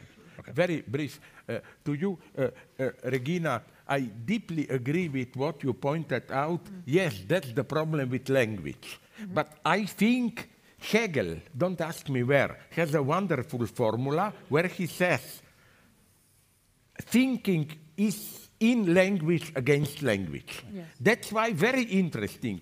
How wrong is this view of Hegel, total rationalist, blah, blah, blah. But he needed wordplays and this playful element of language. It was crucial for him. Mm-hmm. I read somewhere at some point, you know, he moved to Berlin because of money, I read. He really thought he will go to Amsterdam. And he was already writing letters to Dutch friends send me as many as good uh, uh, wordplays as you can. Another thing to support you. You know that with Freud, you find the same shift as with Adorno.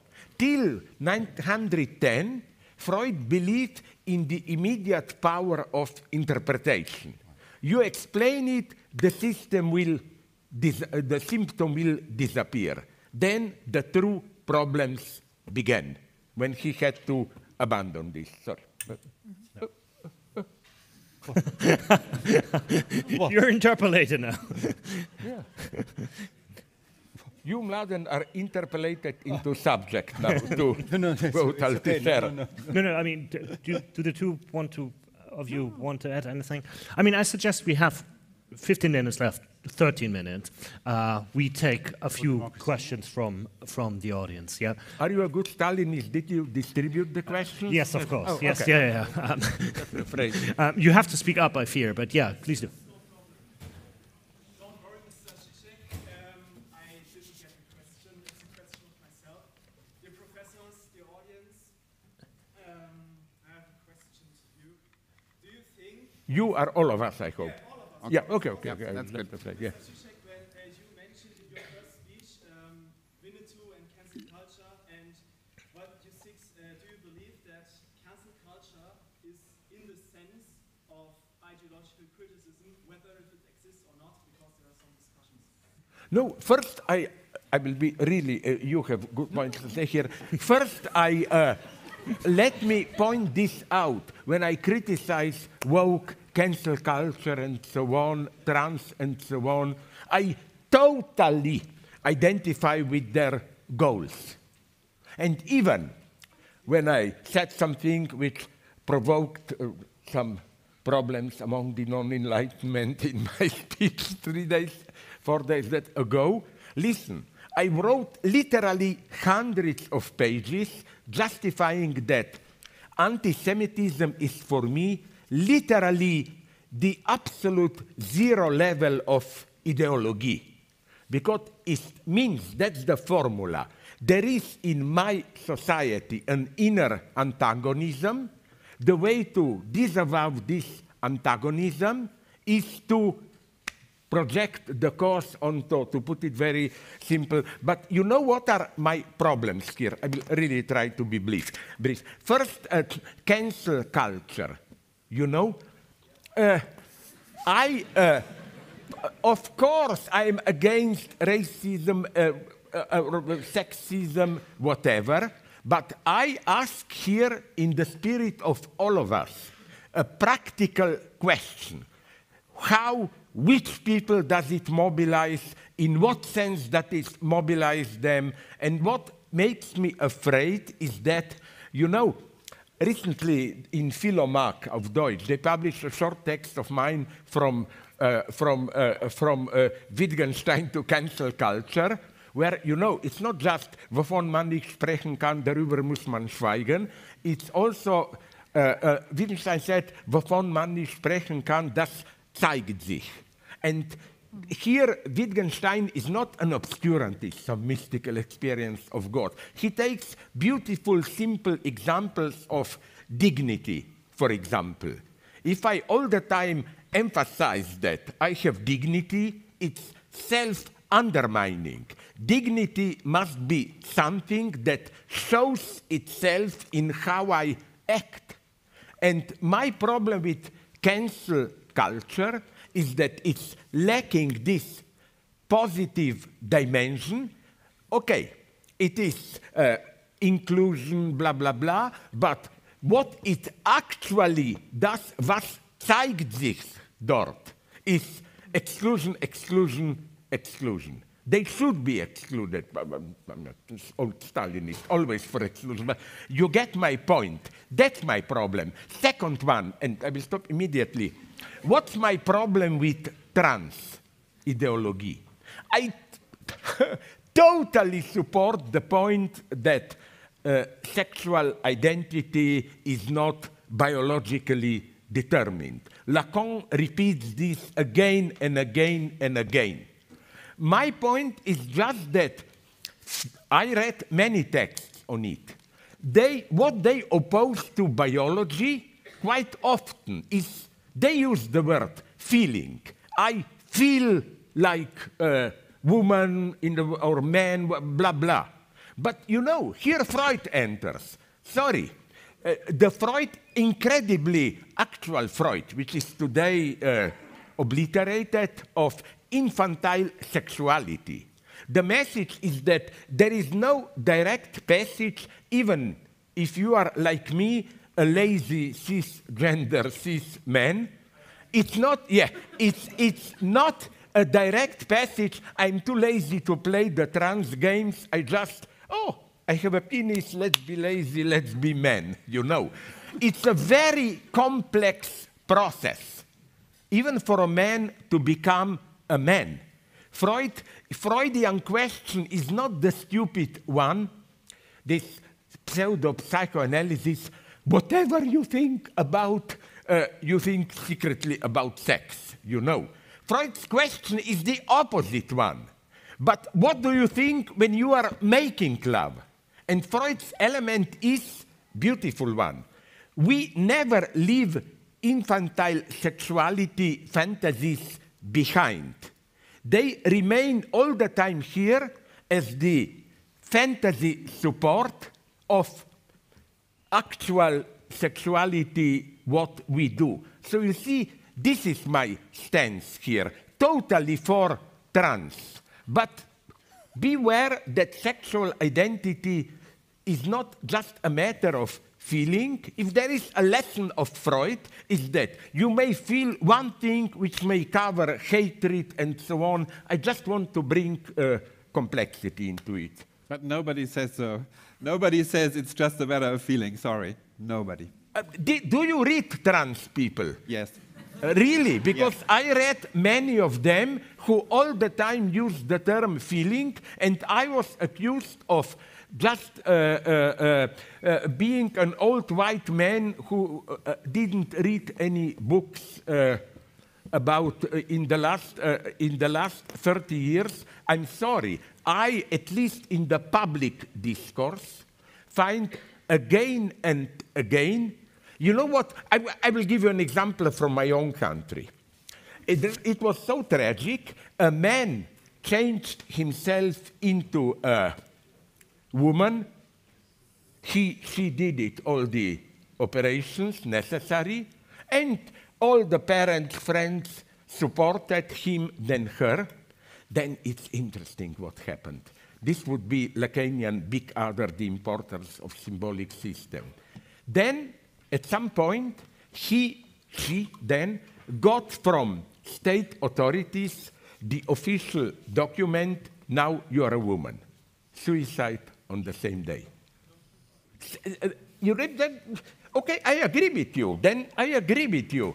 I, great. I have many trans friends and so on. The other thing where I disagree is sometimes they think, they claim that there is some kind of a universally perverse neutral sexuality, and then some of us become men, some women.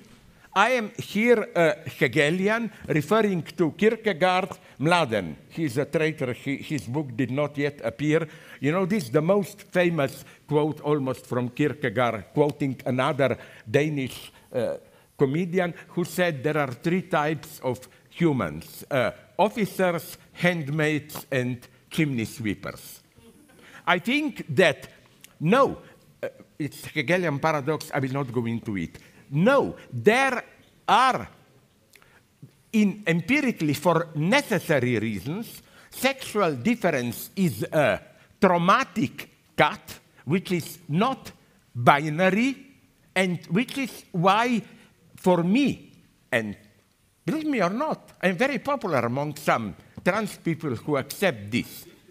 That that that uh, the only the only that apart from men and women, we have people who stand for gap difference as such. They are trans. Sorry. Do we have other reactions to exactly this or the first question from the panel? Um, otherwise, I would say we take a, at least a second question. Um, yes, please. Now, at least we move from the right to the center, no? Yeah, exactly. Um, I wanted to ask you all, how do you feel about the future? Are you pessimistic or optimistic? Because um, ideology critique, uh, like this is more um, of Žižek's theory, um, is at this point almost a cliche. Like you said, je sais bien, mais quand même. Quand même. Um, we we criticize it, but at the same time, how does it even change anything? like, are you? Do you even think uh, that the future will be better? And um, yeah. Bitte. Uh, I, Können wir abstimmen?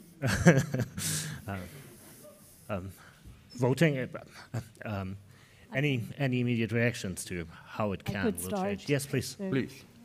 Uh, thank you uh, for this important question. Um, there, if you do ideology critique um, in a Hegelian sense, we talked about that, that you start with a negation of reality and then you transform, you know, uh, um, with the help of some uh, conceptions like freedom, uh, the existing notion of freedom, say a neoliberal idea of freedom, into something else, into an idea of freedom that you think uh, might be adequate with regard uh, to reality and the way you would like to get out of it, then one needs to say ideology critique does only make sense if it happens in practice and changes something. So it's, it's linked to societal change. That, that's why I would say ideology critique is very important nowadays, uh, but only if uh, it's, uh, it's linked with the idea that practice in which we live, which we uphold ourselves, is changing. Whether that will be successful or not remains to be seen, but it's, it's something everybody should do in a way. But will ideology critique foster and strengthen these practices, or is this unrelated? Exactly, that's the question. It, it can be uh, the case, for example, uh, that's why it's so complicated, uh, that you that ideology critique even stabilizes the world in which we live in. For example, if uh, you think about um, Wall Street, so there can be an, a, a critique on economy, which then even stabilizes the financialization uh, of our world. Um, and so that's part of it. But then one needs to take that in, uh, in account as well. Indeed, yes. Do the two. I, yeah, well, I, Please. I can say something. Well, yes. Um, what follows from what we are speaking about? And I gave a particularly gloomy uh, diagnosis of the present. What's what's to be done? Is there any way out? And um, well, of course, the, on, on the Frankfurt side, let's say, there is um, the question of normativity of reason and justification. Those were the big words that we, you were using uh, as the best instrument that we have, actually. And I completely agree with this. We should, we, we should, we should pursue this line. But is it sufficient? Is it sufficient to just point to the normativity of reason as a, as a way that uh, could somehow present a way out of this deadlock? It's absolutely necessary, but is it sufficient? And I think it was um, Alenka that actually spoke in slightly different language when she proposed uh, the word that would make a difference and open up a new possibilities and choices. Um, this is the problem. It's not just uh, persisting with the, with the um, inherent normativity of reason. Of course, we persist, of course. But um, the, the, the, trick, of course, is to invent this uh, the statement, a word, a type of discourse, which would actually make a difference and open new set of possibilities, um, which would get out of this deadlock. How to do this is it's very difficult. We don't have a, a, formula to give, but um, Alenka also used this, uh, I think, very useful formulation that the words are being used as emoticons, and this is very different from the previous situation of postmodernity, where we had the irony as the universal kind of uh, frame of mind. Um, we are ironic to our identity, we are ironic to every word. Every word can be turned around as an ironic uh, thing. And now there is the end of the age of irony, as it were. And we have this uh, hard line, the, word, the words being used as uh, magical tools. They designate precisely, uh, they, they, they work in a magic way of designation and being identified with what, what they designate. And this is why the, the, the, all these problems by banning this actually also links with the question on, on, on cancel culture. So the problem would be maybe, can we invent a good word as emoticon? I mean, a good, there are bad, way, bad ways of using words as emoticons, but somehow the word which would, which would make a difference and would have this passionate attachment to, to intervene in the real. Okay, I stop there. I know. Yeah, I'm, I'm happy to take, uh, to take this up because I think Mladen is right. Uh, reason is the only faculty of critique yeah. that we have that is reliable. But to transcend the given, after you have uh, deconstructed the false grounds on which we stand, um, you need other faculties like the imagination, uh, which uh, um, open up uh, thinking of different ways to live. You can then use reason to ask yourself whether these ideals, aims, and ideas can stand uh, rational scrutiny, but reason itself is in need of other faculties of the mind to construct such possibilities. A slight disagreement um, with Regina um, where um, she presents ideology critique as a Hegelian enterprise. Now, th there are two alternatives to read Hegelian. For the classic Hegelian model, which is Hegel's model, reason unfolded in history so that the faculty of reason starts sometime and you are at a current stage which allows you in a particular historical culture which happened to be European uh, to understand which what others could not understand, what a progressive idea is and what a regressive idea is. Once you give up that notion of reason unfolding in history, you can still be an immanent critic. But the question that critical theory has to pose, namely, which of the principles and values immanent to a particular society are worth holding on to and which not? Immanentism cannot answer, right? You, you, the, the question of which of the values and principles in a given society, whether the libertarian notion of freedom or a socialist notion of freedom has more going for it, pointing to immanence doesn't do the trick. So that is why I think ideology critique, if it understands um, that the idea of reason unfolding in history, the large Hegel, Hegel assumption, is no longer part of, our, of what we can philosophically defend.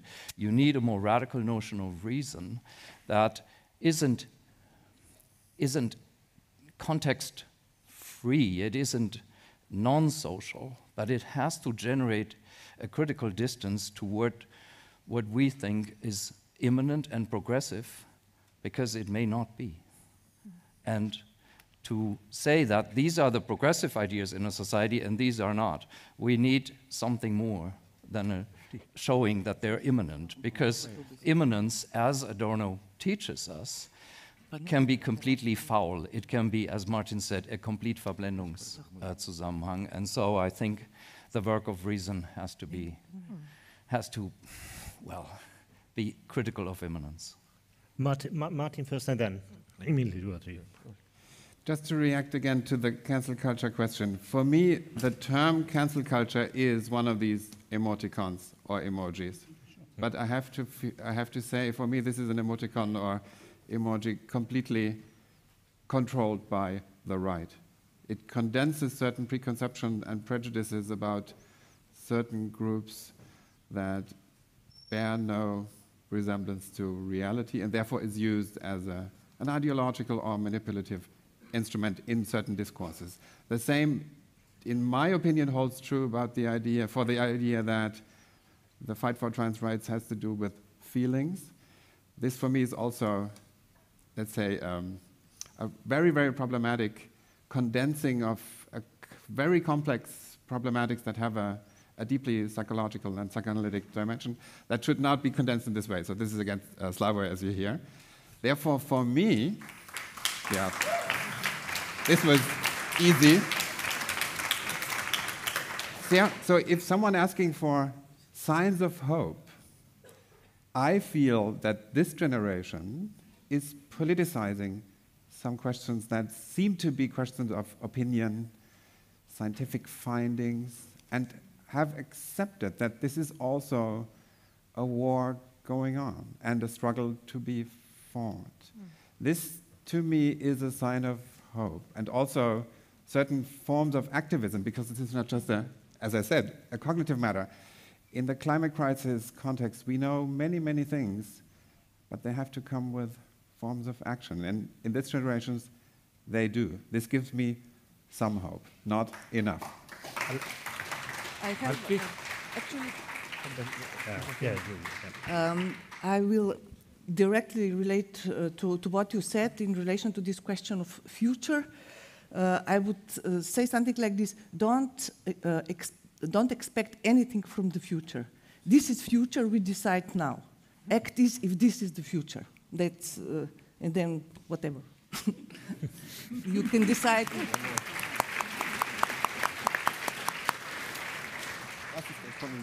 Briefly, let me basically elaborate your point. In my Slovene language and in French, I'm too stupid to know about others, they have two words for future, futur and avenir.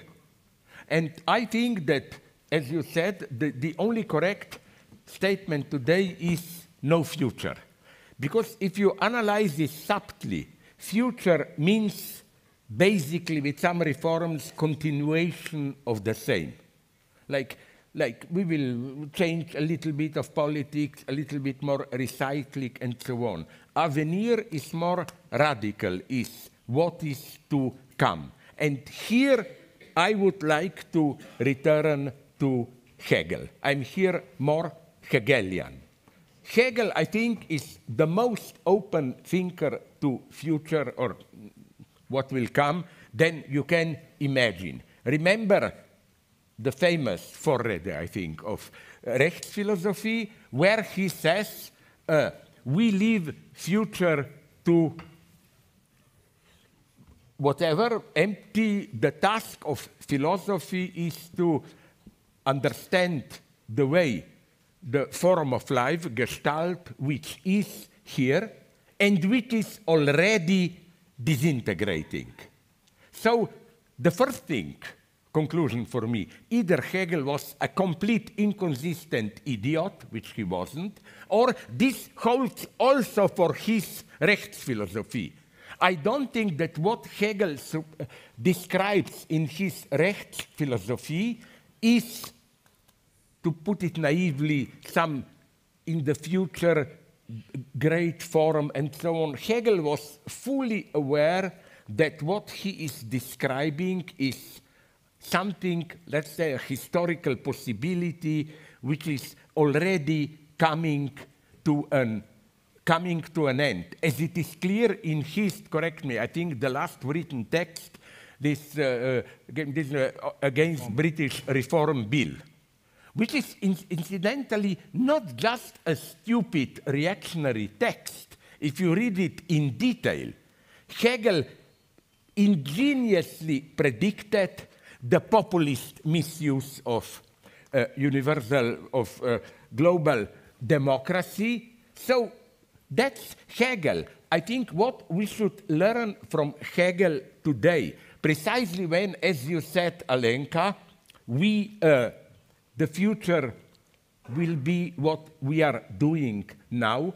I think the greatest genius of Hegel is not in this cheap sense list der Vernunft. All the evils that happen, who knows, maybe they will serve some higher goal, and then you ask, what about uh, uh, Holocaust? And there are some idiots, not Jews, who said, well, it wasn't too bad. Uh, uh, it created the state of Israel. No, this is not Hegel. Hegel, I think, had a tremendous sense of whenever a great new idea comes, to immediately focus on how things can go wrong. For example, Hegel would get, I think, an intellectual orgasm, sorry for this, of World War I. You know, it was an epoch of before, at least in Europe, not around the world, of, of, of relative progress. You had Bismarck, here who even did some kind of a healthcare retirement and so on. And then out of nowhere, First World War. That would have been Hegel's topic all the time. See, beware of these dark options. And here maybe we agree what you said and others there, because I cannot quote him now in detail, but when he nonetheless deals with the problem. Okay, if, uh, if a thinking cannot think the future, and I think here Hegel is on the right side against Marx. Marx is for me still a little bit too theolog- teleologist, you know. Although he knows maybe there will be a catastrophe, but the idea is think somehow, at least as an objective possibility, move, move towards uh, the future. Hegel, uh, Hegel is here much more cautious, although not empirically. Don't forget this. Hegel was a genius in concrete uh, predictions. In History of Philosophy, sorry, Philosophy of History, he says then, 1805, it's too early to talk about America and Russia. Next century will be theirs. So Hegel was no idiot. But I think today we are precisely in this situation as you described it. We cannot rely on any uh, on any on any uh, on any uh, on any teleology. Uh, just a concrete to shock you political proposal nonetheless maybe is the time for the left to stop this fascination with, you know, millions of people on the street, uh, demonstrations, and so on. Many of my friends were crying when they saw two years ago, the 6th of January, you remember, the crowd invading the Congress. And they said, wait a minute, we should have been doing this. Sorry, we have to draw some consequences. And here I will go to the end to, to provoke you. if there ever was a postmodern, but in this caricatural sense, relativist, cynical president is Trump. He may pretend to be a conservative, but Trump is the ultimate postmodernist in how he acts. While, now comes the provocation, why I admire Bernie Sanders is that he is what?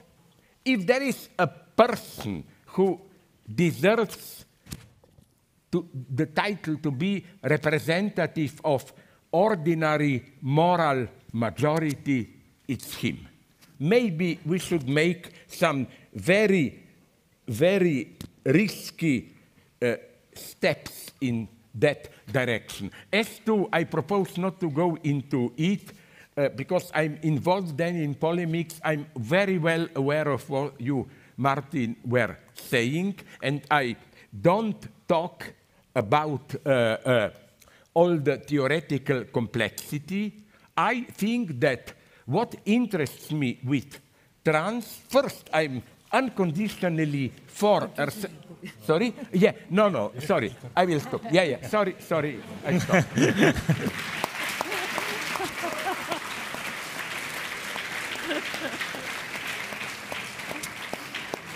Okay. Um, thank you all for being here and thinking with us, and join me in thinking and th- thanking and thanking those who did the thinking in a more outspoken way.